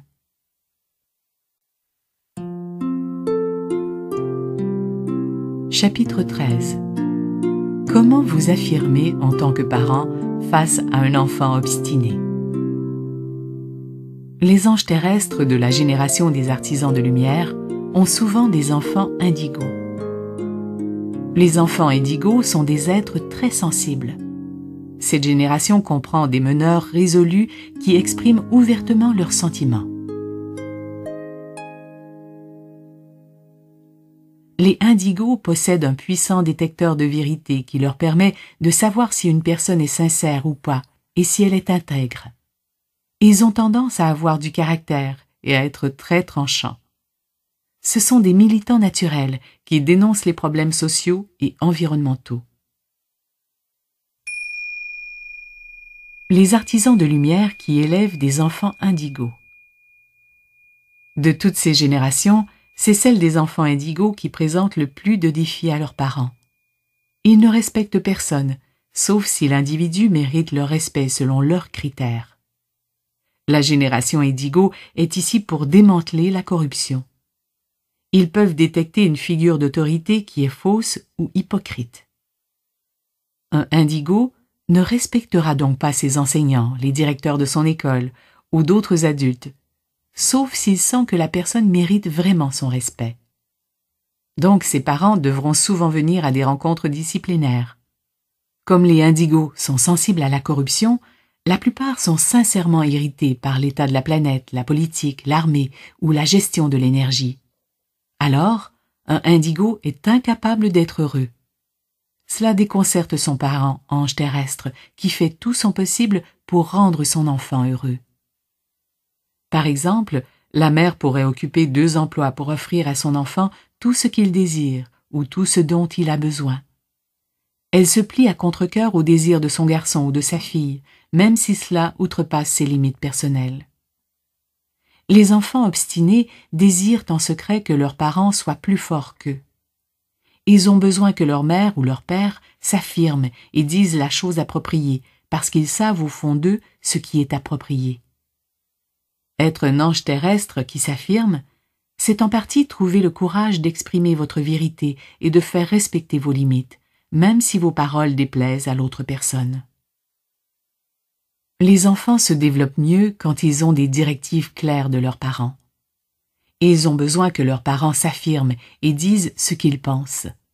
Ils ont besoin que leurs parents leur enseignent des manières saines de composer avec le stress, les relations, l'ennui et les objectifs. Il est important de ne pas avoir peur que votre enfant s'oppose à votre décision. Si vous ne voulez pas de jeux vidéo violents, de malbouffe, d'alcool ou de langage grossier dans votre maison, vous avez le droit de dire non et d'imposer formellement cette limite. Toute limite que vous avez concernant votre maison et votre enfant est naturelle et doit être exprimée ouvertement. Vous devez avoir le courage de les faire respecter même si votre enfant vous épuise ou vous irrite. Parents anges terrestres, rappelez-vous ceci. Votre tâche est de guider votre enfant et de lui enseigner comment se débrouiller dans le monde après votre départ. Enseignez à votre enfant à être fort et à conserver son esprit libre. Enseignez-lui à être authentique et à s'affirmer en tant que meneur et militant. Enseignez à votre enfant à vous respecter en tant que parent. Ne vous engagez pas dans des luttes de pouvoir. Chaque fois que vous avez une lutte de pouvoir avec quelqu'un, cela insinue que quelqu'un peut vous prendre votre pouvoir. Mais sachez que vous ne pouvez jamais vraiment perdre ou donner votre pouvoir, parce qu'il vient de Dieu, et ce que Dieu a créé est éternel.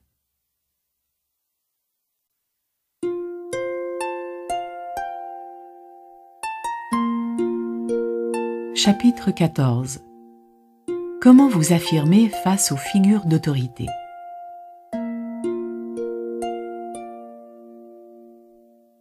Quand nous sommes enfants, nous sommes contraints de nous conformer aux désirs des figures d'autorité, au risque d'être punis.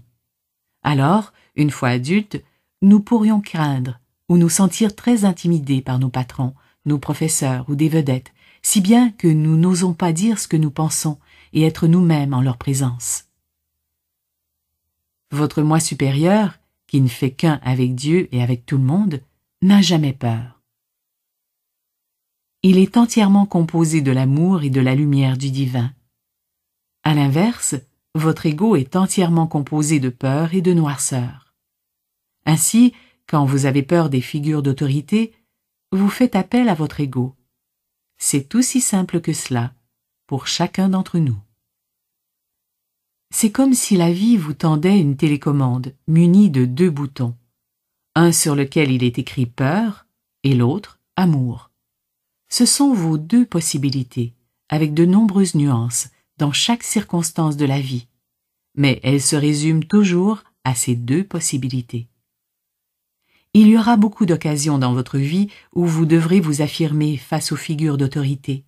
Par exemple, vous devrez parler à votre employeur au sujet d'une promotion ou d'une augmentation de salaire, ou lui présenter une idée pour un nouveau projet. Une personne passive ne dit jamais ce qu'elle pense aux figures d'autorité et les regarde rarement dans les yeux.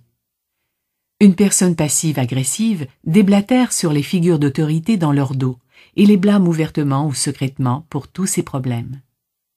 Une personne agressive va confronter une figure d'autorité avec des paroles ou des gestes colériques. Mais une personne qui s'affirme va s'adresser directement à la figure d'autorité avec honnêteté, calme et grâce. C'est en vous affirmant que vous pouvez susciter les changements les plus positifs et atteindre le niveau vibratoire le plus élevé dans toutes vos relations. Cela comprend votre relation avec votre Créateur, les anges et vos êtres chers, de même que vos relations karmiques, celles avec des figures d'autorité et surtout votre relation avec vous-même. Bien sûr, il n'y a rien de mal à admirer et à apprécier les gens, mais ne les voyez pas comme étant distincts ou meilleurs que vous. Laissez plutôt les côtés admirables d'une autre personne vous inspirer à atteindre vos propres rêves.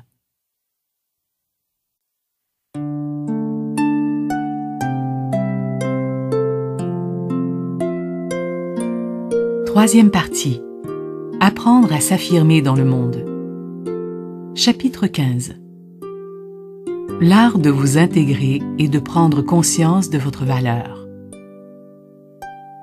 Les anges terrestres ont l'impression d'être différents du reste du monde, comme s'ils avaient été déposés sur cette planète, puis abandonnés.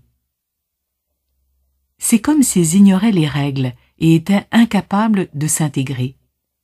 Ils vivent en se sentant continuellement étranges, incompris et jugés.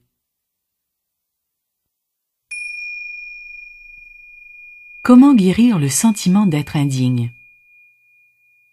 Avoir le sentiment d'être indigne signifie que vous pensez que vous ne méritez pas de recevoir les mêmes bénédictions auxquelles tout le monde a droit. Parce que vous vous croyez indigne, vous allez saboter tout ce qui pourrait être bénéfique dans votre vie. Vous vous attendrez au pire, et c'est ce que vous attirerez et créerez. Il est essentiel que vous compreniez que vous méritez entièrement ce qu'il y a de mieux. D'abord, vous avez été créé par Dieu, et Dieu vous a créé à l'image et à la ressemblance de la perfection divine. Même si vous avez l'impression d'être le contraire de la perfection, votre divinité demeure intacte. Ce que Dieu a créé de parfait ne peut jamais être détruit ou amoindri. Ensuite, vous êtes ici pour accomplir une mission importante. Vous pouvez sentir cette vérité, même si vous ne savez pas exactement quelle est la nature de cette mission. La douleur émotionnelle, associée au sentiment d'indignité et de solitude, peut en fait vous enseigner beaucoup de choses et favoriser votre croissance spirituelle et votre connaissance de soi. Pour cela, vous devez ressentir pleinement vos émotions, sans engourdir votre douleur en vous en dissociant ou en adoptant des comportements qui créent une dépendance. Reconnaissez les côtés sombres de la vie. Au lieu de vous sentir victime ou déprimé, ou de vous apitoyer sur vous-même parce que vous êtes seul, laissez ce sentiment vous donner du pouvoir. En étant entièrement honnête avec vous-même à propos de votre angoisse existentielle, vous laisserez tomber les défenses qui vous ont empêché de faire face aux sentiments que vous avez ressentis toute votre vie. Vous vous êtes blâmé de ne pas être aimable parce que vous ne vous sentiez pas aimé. Mais vous vous êtes empêché de le réaliser parce que votre ego veut tout contrôler. Comme c'est le cas pour tous, votre ego ne veut pas que vous découvriez les côtés sombres des polarités présentes sur la Terre. La noirceur qui règne sur cette planète est uniquement due à la dimension physique qui possède un côté positif et négatif. Les anges terrestres ont souvent peur de reconnaître le pôle négatif de la vie physique ou de consacrer du temps à l'analyser. Comme un ange céleste, l'ange terrestre ne veut voir que le bien en chaque être. C'est une caractéristique admirable des anges terrestres, d'une énergie vibratoire supérieure. Cependant, dans ce monde physique, il est important de reconnaître les deux pôles. Chaque personne, dont vous-même, possède un ego agaçant, irritant et manipulateur. Si vous refusez de voir le côté négatif de la polarité, vous ne reconnaîtrez pas vos propres problèmes d'ego. Vous ne verrez que le côté sombre dans le comportement des autres, mais pas dans le vôtre. Vous nierez et projetterez vos propres sentiments négatifs au lieu d'apprendre des leçons d'eux et évoluer. Comment allez-vous guérir et évoluer en tant qu'individu si vous ne reconnaissez pas qu'il y a des choses que vous devez améliorer? Reconnaître que vous devez vous améliorer est différent que de dire que vous êtes indigne ou inférieur aux autres.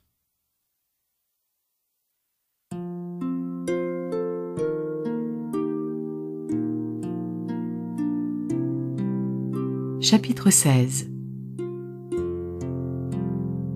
Une douce excitation plutôt que des drames. Vous avez été créé en paix par le Créateur pacifique. Même si vous ne vous sentez pas en paix, vous l'êtes selon la vérité spirituelle. En fait, il est impossible de ne pas être en paix dans l'univers que Dieu a créé. Si les apparences semblent indiquer le contraire, cela signifie que votre ego domine. Il vous a persuadé que la paix n'est pas précieuse ou qu'elle est impossible à atteindre. Être en paix n'a rien de passif ou de monotone. L'ego essaie de vous dire d'être paisible. C'est la même chose qu'être passif. Il vous dit que si vous êtes paisible, vous allez perdre votre ambition et votre volonté de travailler fort, et que vous allez vous retrouver loin derrière dans ce monde compétitif. Rien ne saurait être plus loin de la vérité. Être paisible, signifie seulement que vous êtes conscient de la divinité qui vous unit à tout ce qui existe, de vos émotions et opinions honnêtes et de tout ce que votre corps physique ressent. Les personnes paisibles s'affirment toujours parce qu'elles doivent dire ce qu'elles pensent et doivent être honnêtes pour garder leur paix intérieure. Vous ne pouvez pas être en paix quand vous réprimez vos sentiments.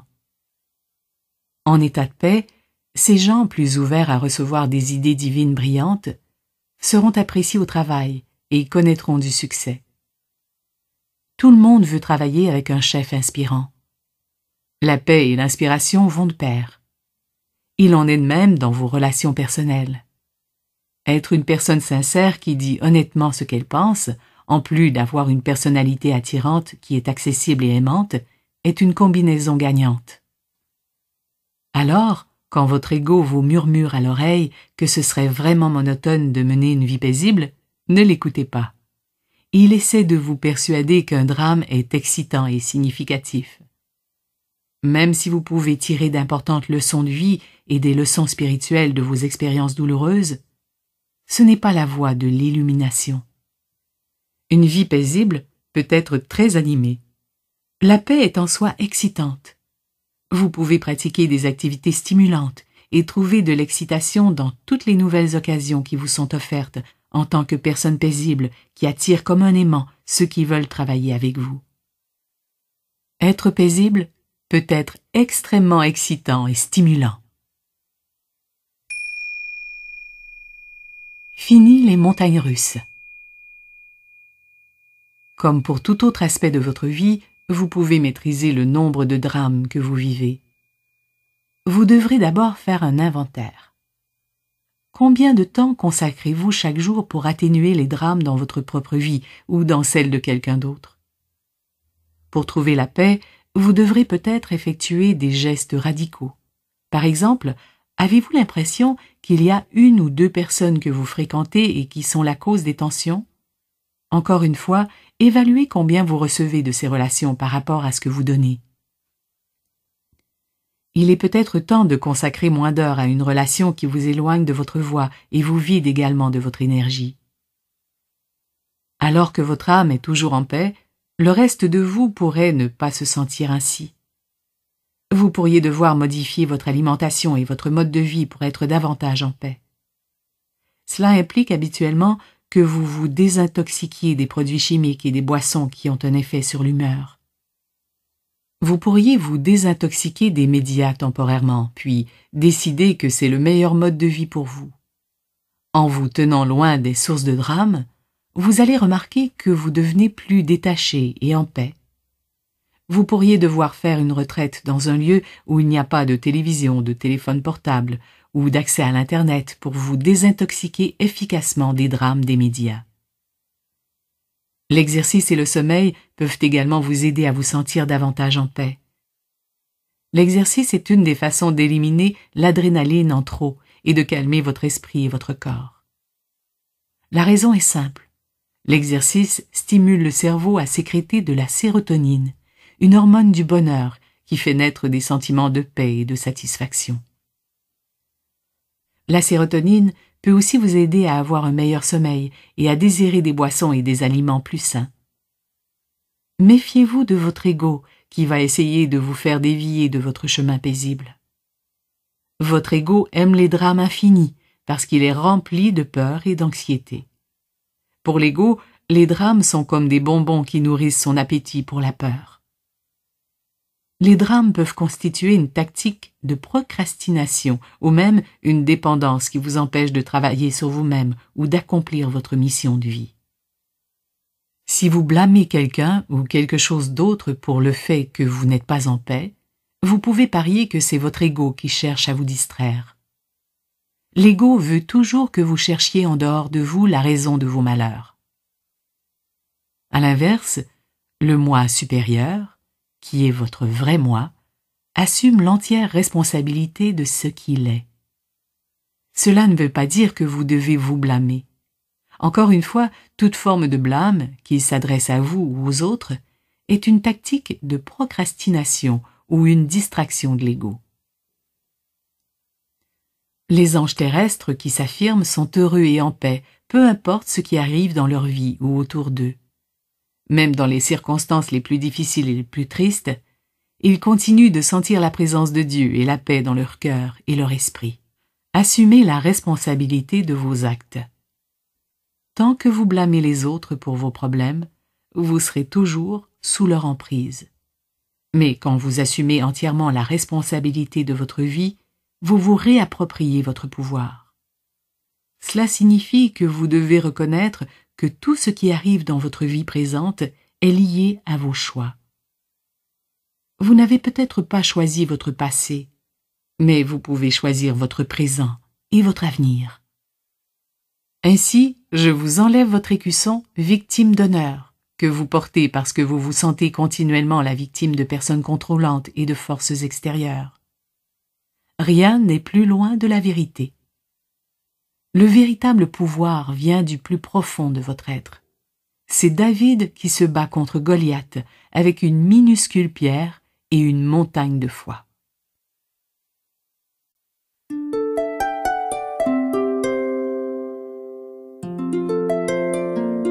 Chapitre 17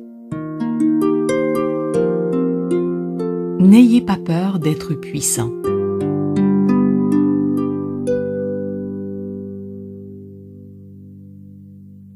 N'avez pas besoin de devenir plus puissant parce que vous possédez déjà tout le pouvoir que vous pouvez posséder. N'oubliez jamais que vous avez été créé à l'image et à la ressemblance du puissant Créateur divin. Donc, comme tous les êtres humains, vous possédez tout le pouvoir céleste en vous. Si vous vous sentez actuellement impuissant et inefficace, c'est parce que vous avez pris la décision que vous n'aviez pas de pouvoir. Selon la vérité spirituelle, rien ne peut vous prendre le pouvoir que Dieu a créé en vous. Jamais. Alors, personne ne peut vous empêcher de l'exprimer, sauf si vous le donnez aux autres. Il suffit de le reconnaître et de l'assumer pour qu'il reprenne automatiquement du service. Les drapeaux verts du ciel. Vous n'êtes pas une victime, et vous ne pourrez jamais en être une. Tant que vous demeurez sobre, alerte et conscient de votre guidance intérieure, vous serez toujours en sécurité et soutenu. Tout comme les anges envoient des drapeaux rouges pour vous avertir de ne pas entrer en relation avec la mauvaise personne, ils vous envoient des drapeaux verts pour vous diriger sur la bonne voie. Quand vous vous sentez fréquemment poussé à effectuer des gestes positifs et à apporter des changements sains dans votre vie, vous recevez des drapeaux verts. Le pouvoir signifie simplement que vous honorez vos sentiments et avez le courage de dire ce que vous pensez sans vous excuser ou essayer de contrôler les réactions de l'autre personne. Une personne puissante est à l'aise avec elle-même. Elle n'a pas besoin de l'approbation de quelqu'un d'autre pour être heureuse. Vous pourriez devoir vous le rappeler si vous commencez seulement à vous réapproprier votre pouvoir personnel. Cela commence en remettant en question chaque aspect de votre vie où vous vous inquiétez de ce que les autres vont penser. Ce qui signifie commencer à être conscient des relations qui déclenchent de la peur ou de l'anxiété en vous. Un certain nombre de personnes m'ont dit qu'elles avaient profondément peur d'abuser de leur pouvoir si elles le laissaient se déchaîner. Encore une fois, elles confondent le pouvoir avec l'agression. Un ange terrestre, sensible et aimant, n'oserait jamais priver une personne de ses droits ou blesser quelqu'un pour atteindre son but. Cela ne viendrait même pas à sa conscience. Certaines personnes ont peur de leur pouvoir parce que cela signifie qu'elles devront assumer l'entière responsabilité de leur vie, ce qui les effraie et les intimide. Mais la vérité positive est que lorsque vous assumez votre vie, cela signifie que vous cessez de demander la permission pour accomplir ce que votre âme vous demande de faire et que vous avez le courage de prendre des risques pour changer votre vie afin qu'elle corresponde à vos rêves et à votre guidance intérieure. Certaines personnes vous ont peut-être fait des reproches quand vous disiez ce que vous pensiez et disiez la vérité. D'autres vous ont peut-être puni ou abandonné parce que vous étiez authentique. Même si de telles réactions de la part des gens peuvent laisser des blessures émotionnelles à long terme, elles ne vous enlèvent pas votre pouvoir. Encore une fois, rien ni personne ne peut vous enlever le pouvoir que Dieu a créé en vous. Votre pouvoir est éternel et son intensité est toujours maximale. Je crois que Jésus a essayé de nous démontrer que nous sommes tous liés à Dieu et que nous possédons tous ce pouvoir. Il a dit qu'avec la foi, nous pouvions tous faire les miracles qu'il avait accomplis, et bien plus encore. Il est temps de cesser de voir petit. Votre mission de vie pourrait être de changer le monde et de sauver la planète entière. Les tactiques de procrastination L'ego ne veut pas que vous sachiez qui vous êtes. Il est le dictateur tyrannique en nous qui veut que tout le monde demeure dans la noirceur afin qu'il puisse être aux commandes et tout contrôler. Le prix à payer pour sa tyrannie est que nous n'explorons pas les joies de prendre des risques en suivant notre guidance intérieure divine. L'ego utilise donc des tactiques de procrastination pour s'assurer que vous n'accomplirez jamais vraiment votre mission. Ces tactiques sont des distractions qui vous empêchent de sentir que vous avez le droit ou suffisamment de temps et de préparation pour accomplir votre mission de vie. Si vous vous sentez frustré ou bloqué dans votre vie, canalisez ces sentiments pour qu'ils vous poussent à effectuer des gestes positifs et ne laissez personne vous dire que vous ne le pouvez pas. Le jour où j'ai décidé de suivre ma guidance intérieure et de devenir une auteure publiée, je l'ai mentionné à mon professeur et superviseur en psychologie. Il s'est aussitôt esclaffé et m'a dit que je n'étais pas qualifié pour être publié en tant qu'auteur. Heureusement, je n'ai pas laissé son rire m'empêcher de poursuivre mon rêve. J'ai trouvé le courage d'écrire et de soumettre mon premier livre à un éditeur, même si ma figure d'autorité personnelle avait essayé de m'en dissuader. Parfois, les gens vont essayer de vous convaincre de ne pas poursuivre vos rêves, parce qu'ils veulent vous protéger de toute déception. Il est garanti que vous allez connaître des déceptions en poursuivant vos rêves, mais vous allez les surmonter. Les déceptions ne sont pas des punitions de la vie, ce sont des repères qui marquent vos progrès. J'ai connu de nombreux revers dans ma vie professionnelle et personnelle. J'en aurais sans doute connu même si je n'avais pas tenté de réaliser mes rêves. Mais la joie que je ressens quand je poursuis mes rêves m'a donné la force et l'endurance pour survivre à ces revers de la vie. C'est en confrontant vos peurs que vous pouvez les surmonter.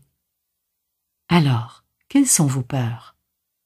Prenez un moment pour les confronter et voir qu'elles proviennent en fait des cauchemars de l'enfance qui n'ont aucun pouvoir réel sur vous.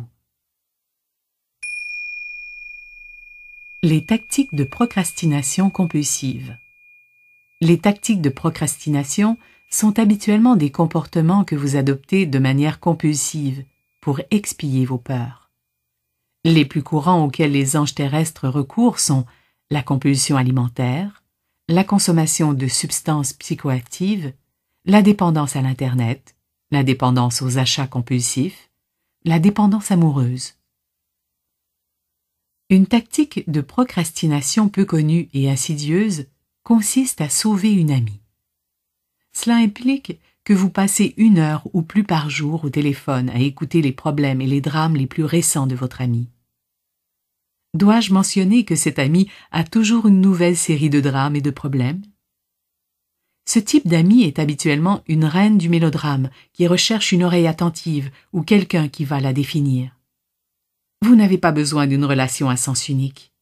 Elle est toxique et vous enlève votre pouvoir. Alors, pour briser le cycle de cette relation servant de tactique de procrastination, vous devrez admettre cette puissante vérité vous utilisez cette amie autant qu'elle vous utilise. Vous utilisez cette amitié parce qu'elle vous sert de tactique de procrastination. Vous pouvez vous justifier de ne pas accomplir votre mission de vie parce que vous êtes trop occupé à aider votre ami. Mais si vous êtes honnête avec vous-même, vous pouvez voir combien cette entente que vous avez inconsciemment faite entre vous est une perte de temps. Vous devez soit mettre fin à ce type de relation à sens unique et mélodramatique, ou la gérer. Votre priorité devrait être de prendre soin de votre santé physique, mentale et spirituelle afin de pouvoir être membre essentiel de votre communauté et d'avoir du temps à consacrer à votre famille. Cela implique que vous devez avoir le courage de faire face à vos dépendances et autres tactiques de procrastination. Si votre dépendance est devenue incontrôlable, allez chercher de l'aide professionnelle auprès des groupes de soutien gratuits en ligne ou en personne comme les alcooliques anonymes. Soyez honnête avec vous-même à propos de la façon dont cette tactique de procrastination porte atteinte à votre bonheur, à votre santé et à votre mission de vie en vous empêchant d'aller de l'avant. Ayez une conversation avec elle et dites-lui adieu. Soyez prêt à vous pardonner et à pardonner à tous ceux qui vous ont laissé adopter cette tactique de procrastination. Votre sens de l'humour pourrait même vous permettre de voir combien elle fait partie de nos faiblesses humaines. Les tactiques de procrastination permettent à vos rêves de demeurer en suspens.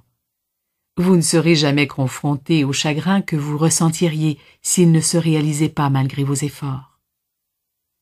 Mais comme les billets de loterie, les rêves ne peuvent se réaliser que si vous osez agir en ce sens. Chaque jour, consacrez au moins une heure à essayer de les réaliser. Peu importe ce que vous faites, faites quelque chose, n'importe quoi en lien avec ce rêve. Le perfectionnisme et la paralysie. Si vous avez tendance à être perfectionniste, vous pourriez retarder vos efforts et attendre ce qui est pour vous le moment parfait pour réaliser votre rêve. Ainsi, vous êtes assuré de ne jamais aller de l'avant pour accomplir votre mission de vie parce que, soyons francs, il n'y a jamais un moment idéal pour commencer à réaliser votre rêve. En fait, une des tactiques de procrastination préférées de l'ego est ce qu'on appelle le syndrome de l'imposteur. Cela signifie que vous vous comparez aux autres en laissant votre ego vous dire que vous êtes un imposteur qui fait semblant de réussir. Il vous avertit que vous allez être démasqué et que tous vos efforts auront été vains. En écoutant ces avertissements, vous serez paralysé en croyant à tort que vous vous protégez. Il n'y aura jamais un moment où vous allez vous sentir complètement préparé, qualifié ou prêt. Vous ne cessez jamais de vous améliorer et d'améliorer votre vie. Il y aura toujours un problème ou un drame pour vous déstabiliser. Mais une seule heure par jour consacrée entièrement à la réalisation de votre rêve deviendra le génie de la lampe qui exaucera vos désirs. Vous ne savez pas ce qu'est votre mission de vie? Vous n'êtes pas seul. Pour l'instant, concentrez-vous sur ce que vous savez. Vous savez quelles activités vous procurent du plaisir et favorisent votre croissance spirituelle. Alors, consacrez ce temps à ces activités. Donnez-vous la permission et le pouvoir de consacrer du temps à écrire, à faire de la recherche, à créer ou à accomplir d'autres activités liées à vos intentions, à vos passions et à votre mission de vie. Vous ressentirez le pouvoir que vous avez sur votre vie quand vous vous débarrasserez de tous ceux et de toutes les choses qui vous font perdre votre temps et vous vident de votre énergie. Examinez chaque aspect de votre vie et demandez-vous ce qu'il vous apporte. La seule façon d'être en paix et le seul moyen de fuir la tyrannie de votre ego est d'entraîner continuellement votre esprit à savoir que vous ne faites qu'un avec tout le monde. Bien entendu, il n'y a pas de mal à recevoir des compliments et à vous sentir bien à propos de vous-même, parce que cela fait partie de prendre soin de soi et de s'aimer. Quand quelqu'un vous fait un compliment, vous pouvez l'accepter gentiment comme un cadeau. Faites-le avec grâce et ne lui retournez pas son compliment. C'est l'équivalent de refuser un présent qu'on vous a offert. Ne vous rabaissez jamais, que ce soit à la blague ou sérieusement. De plus, il est essentiel que vous utilisiez des paroles et des phrases positives quand vous vous décrivez. Vous pouvez demeurer humble tout en vous sentant bien à propos de vous-même. Apprenez à être à l'aise avec votre pouvoir. Comme c'est le cas quand vous adoptez un nouveau mode de vie, vous deviendrez de plus en plus à l'aise avec votre pouvoir personnel. Au fur et à mesure que vous réussirez à vous affirmer, vous deviendrez de plus en plus confiant et à l'aise d'utiliser votre pouvoir. Rappelez-vous que le pouvoir est naturel. Alors, en vous permettant d'utiliser davantage votre pouvoir, vous êtes en fait votre vrai moi, naturel.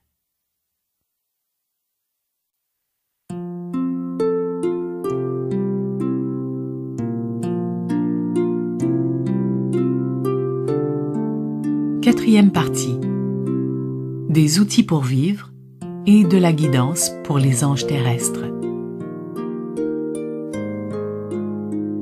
Chapitre 18 L'énergie vibratoire des personnes empathiques.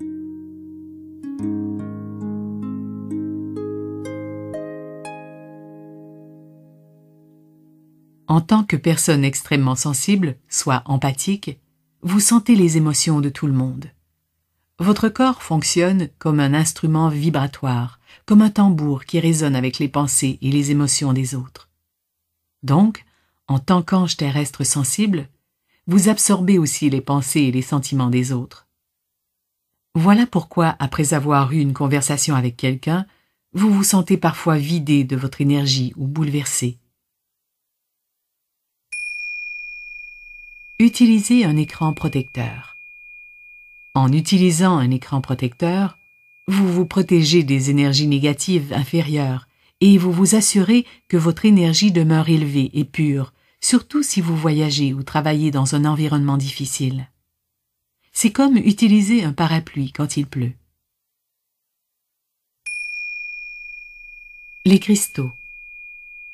Vous pouvez détourner l'énergie négative en ayant des cristaux protecteurs près de vous, que ce soit en les portant, en les tenant dans votre main ou en les déposant sur votre table de chevet ou sur votre bureau. Les cristaux transforment, protègent et amplifient les différentes énergies. La lumière des anges. Vous pouvez demander à l'archange Michael, l'ange protecteur, de vous protéger avec sa lumière bleu royale et pourpre.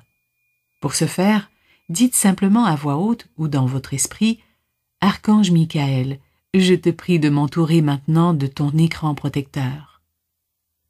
Comme cet archange est illimité, il peut protéger instantanément tous ceux qui font appel à lui. Purifiez votre énergie.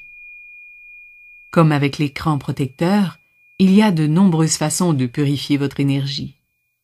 Ma préférée consiste à dire Archange Michael, je te prie de chasser toutes les énergies en moi et autour de moi qui ne viennent pas de l'amour et de la lumière de Dieu. L'archange va immédiatement aider ceux qui font appel à lui, étant donné qu'il nous aime tous et qu'il a l'habileté d'aider tout le monde simultanément. Une autre façon de purifier votre énergie est de prendre un bain chaud dans lequel vous avez ajouté des sels de mer. Vous pouvez aussi, pour chasser les toxines physiques et énergétiques, désintoxiquer votre alimentation. Les arbres sont d'incroyables guérisseurs. Pour vous protéger, vous purifier et vous ancrer, vous pouvez recevoir beaucoup de soutien et d'aide des arbres. Les arbres m'ont enseigné leur pouvoir de guérison. Pour vous guérir avec l'aide d'un arbre, marchez dans un boisé et demandez mentalement à ce qu'un arbre vous guérisse. Laissez-vous guider intérieurement vers l'arbre qui vous aidera. Puis, appuyez-vous contre l'arbre, fermez les yeux et prenez de profondes respirations. Soyez prêt à vous libérer de tout ce qui est douloureux. Et ne vous inquiétez pas, cela ne fera aucun mal à l'arbre. Il s'agit du même processus que les arbres maîtrisent pour transformer l'air vicié en oxygène propre. Les guérisons des arbres sont remarquables, douces et très aimantes. Les arbres sont tellement sages. J'adore également m'asseoir au pied des arbres et noter par écrit leurs messages. Je l'ai fait et ils m'ont enseigné à lâcher prise du passé. Vous pouvez aussi purifier et protéger le monde de la négativité. C'est un puissant processus auquel tous les anges terrestres peuvent prendre part pour aider les habitants de notre magnifique planète. Visualisez que le monde est purifié et protégé, et demandez à Dieu d'entourer la Terre d'anges gardiens supplémentaires et de sa lumière protectrice. Plus nous sommes nombreux à le faire, plus la planète est protégée.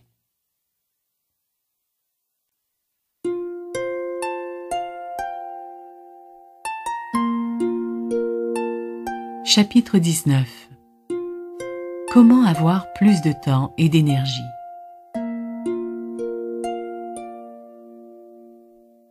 Il faut bien l'admettre, en tant que personne aidante, les anges terrestres ont des vies bien remplies. La manière la plus simple de disposer de plus de temps est d'accroître notre niveau d'énergie. Quand vous avez plus d'énergie, au lieu de vous sentir vidé après le repas du midi, vous allez constater que votre niveau d'énergie demeure élevé jusqu'à minuit. Puis, après une bonne nuit de sommeil, vous vous réveillez à 6 heures le lendemain matin en étant prêt à reprendre vos activités dans le bonheur et dans la joie. Avoir un niveau d'énergie élevé est aussi la clé pour faire en sorte que les choses se manifestent rapidement. Plus vous visualisez, affirmez haut et fort et priez pour que vos rêves se réalisent, plus votre énergie sera élevée et plus vos rêves vont se réaliser rapidement. Alors, une des raisons pour lesquelles vos anges gardiens vous poussent intérieurement à adopter un mode de vie plus sain est qu'ils savent que cela va favoriser la réalisation de vos rêves. Par exemple, quand vos anges vous guident pour que vous fassiez de l'exercice, ils ne le suggèrent pas parce qu'ils vous jugent ou qu'ils essaient de gâcher votre plaisir. Les anges savent que l'exercice quotidien permet d'accroître grandement les niveaux d'énergie. L'exercice vous permet de chasser le stress et les plaintes que vous ressassez et qui vous distraient de votre mission. Pour les anges terrestres, la compétitivité, la violence et les autres énergies hostiles de la Terre sont souvent très étrangères et troublantes. Ils se servent donc de la nourriture et de l'alcool pour engourdir leur niveau de sensibilité et le poids physique qu'ils gagnent leur sert de bouclier contre les énergies plus hostiles. Cela pose toutefois un double problème. Le premier, les anges terrestres sont très sensibles aux produits chimiques qu'ils ingèrent. Ils sont très sujets aux allergies. Alors, en consommant des aliments, des boissons ou des drogues toxiques, ils réduisent leur niveau d'énergie et pourraient aussi souffrir d'inflammation, d'anxiété de dépression. Le deuxième, les anges terrestres sont très sensibles à ce que les gens pensent d'eux. Leur poids excédentaire les rend sujets à la désapprobation des autres. Beaucoup d'anges terrestres se jugent parce qu'ils n'ont pas un corps parfait, et ils se servent de ce jugement pour s'empêcher d'aller en toute confiance dans la direction de leurs rêves et de leur mission de vie. Mais s'ils prennent soin de leur corps en mangeant sainement et en faisant de l'exercice chaque jour, ils gagneront en énergie et en confiance. Rappelez-vous que vos anges veulent votre bien. Alors, demandons à Dieu et aux archanges que leurs conseils soient clairs et que vous en soyez conscients dès maintenant.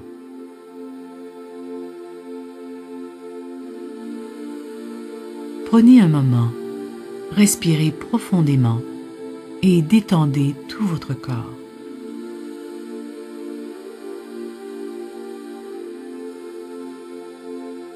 Ensuite, inspirez profondément. Concentrez-vous sur votre cœur et pensez aux anges.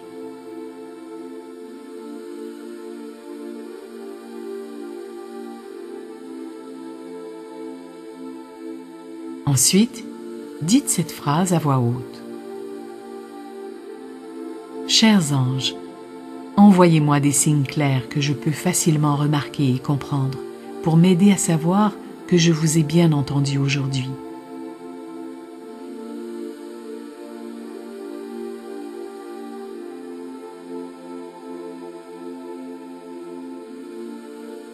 Donnez-moi le courage, la force et la motivation d'apporter ces changements sains sans hésiter ou sans reporter à demain.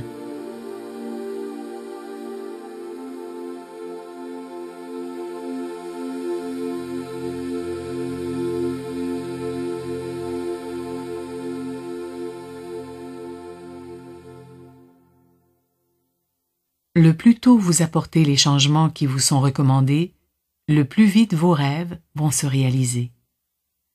Demandons à l'archange Raphaël, l'ange de la guérison, et à l'archange Michael, l'ange du courage et de la protection, de vous aider. Cher Dieu et chers archanges Raphaël et Michael, je vous prie de m'aider à ne désirer que de la nourriture et des boissons saines.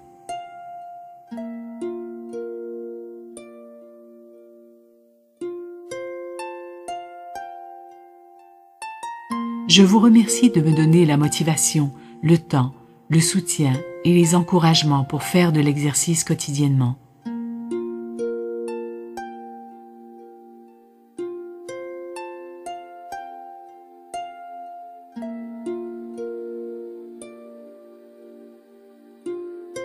Je remets entre vos mains toutes mes peurs et mes excuses antérieures qui m'empêchaient de mieux prendre soin de mon corps physique.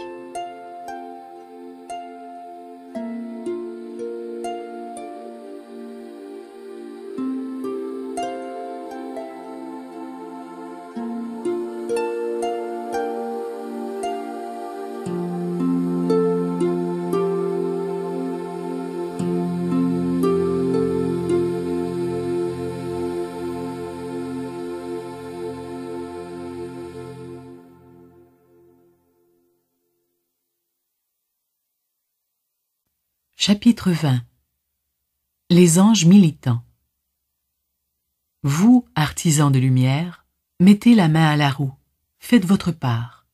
Il y a de réels problèmes dans le monde qui nécessitent votre attention, maintenant. Si ce monde était parfait, vous et moi ne serions pas ici. Nous aurions pu rester à la maison dans le ciel et envoyer nos prières de là-haut. Voyez les actualités comme des devoirs divins. Au lieu de vous inquiéter à propos d'une histoire ou de la laisser vous troubler ou vous déprimer, priez pour elle.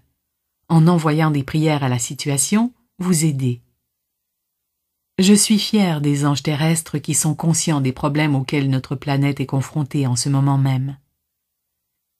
Et je suis particulièrement fier de ceux qui parmi vous agissent pour aider, que ce soit en signant ou en faisant circuler des pétitions, en communiquant avec leurs représentants locaux, en boycottant des produits malsains ou en participant à des rassemblements pacifiques.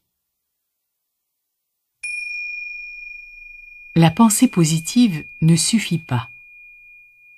Dans le passé, les anges terrestres ont évité de s'intéresser à ces questions. Ils ont essayé d'utiliser la pensée positive pour composer avec le monde. La pensée positive est importante tant qu'elle est également accompagnée de gestes positifs concrets. Vous ne pouvez pas nettoyer votre maison avec seulement la pensée positive. Vous devez sortir le balai et les torchons. Il en est de même avec le nettoyage et l'entretien de notre monde. Vous et moi avons la responsabilité de collaborer. Alors, à tous ceux qui agissent pour aider la planète, je vous dis mille merci.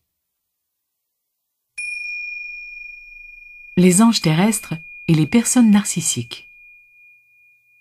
Ne faites pas attention à l'homme derrière le rideau. Ces paroles célèbres du magicien d'Oz s'appliquent à la perfection à la prise de conscience que nous avons à propos de la façon dont notre monde est vraiment dirigé. À mesure que nous découvrons la vérité sur la façon dont le monde fonctionne, nous voyons comment les sociopathes et les personnes narcissiques ont gravi les échelons sur la scène politique. Comme 96% de la population est censée posséder une conscience normale, nous avons naïvement cru que nos dirigeants en possédaient également une. Nous nous sommes également soumis à leur volonté, tout comme les études comportementales le prédisent. Maintenant que le vernis de ces gens a perdu son éclat, que devrions-nous faire? Premièrement, nous possédons un pouvoir spirituel. Les autres ne peuvent pas réprimer, contrôler ou taxer votre habileté à utiliser votre esprit pour prier, penser et faire en sorte que les choses se manifestent. Et c'est pour cette raison que vous êtes incité à vous engager à vous désintoxiquer. Vous êtes beaucoup plus puissant que vous le pensez, et vous êtes en bonne compagnie avec les autres artisans de lumière qui se soucient profondément de cette planète. Il va falloir beaucoup d'engagement, d'efforts et d'auto-analyse pour procéder à cette désintoxication, mais ensemble, nous pouvons réussir. Deuxièmement, passez du discours à l'action. Vous aurez une plus grande confiance en vous si vos actes correspondent à vos plus grands idéaux. Demandez à votre moi supérieur. Quel changement voudrais-tu que je fasse pour que je suive pleinement ma voie la plus élevée? Troisièmement, entourez-vous de personnes sincères. Évitez les narcissiques ou les sociopathes à tout prix. Ils s'adonnent à des petits jeux froids et calculateurs, et la meilleure façon de gagner est de ne pas jouer avec eux. Voici une merveilleuse prière pour composer avec les personnes narcissiques et pour être un ange terrestre militant qui s'affirme.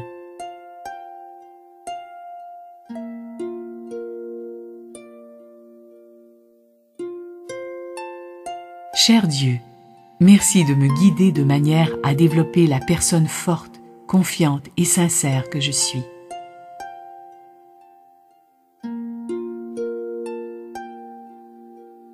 Merci de m'aider à trouver des façons saines de composer avec mes émotions.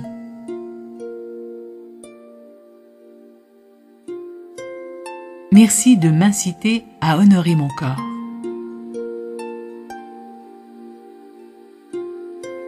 Merci de m'ouvrir les yeux sur la vérité. Et merci de veiller sur nous et de tous nous protéger. Amen.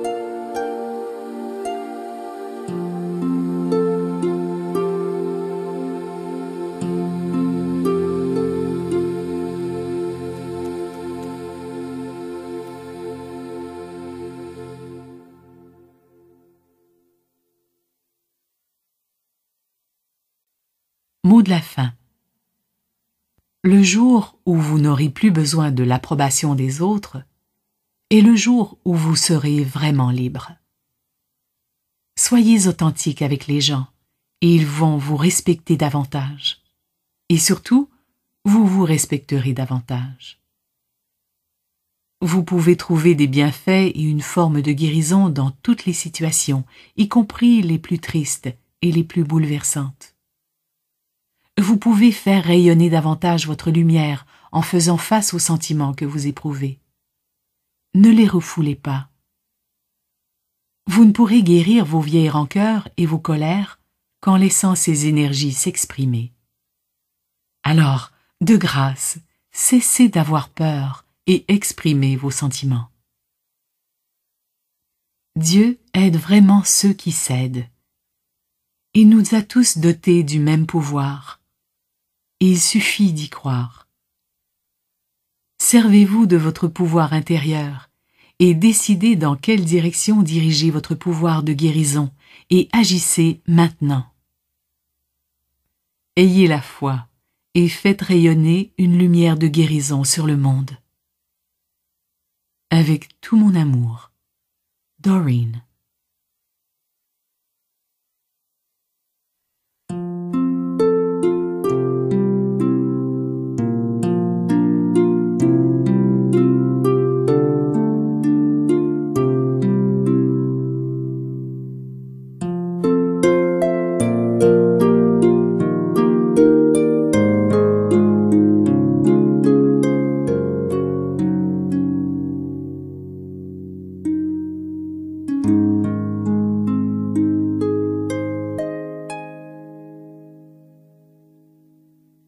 Audio vous a présenté Ange terrestre, affirmez-vous de Doreen Virtue. À la narration, Caroline Boyer. Adaptation, Anne-Marie Maisonneuve. Assistance à la production, Chantal Paquin et Thierry Doucet. Réalisation, musique et enregistrement, Louis Lachance.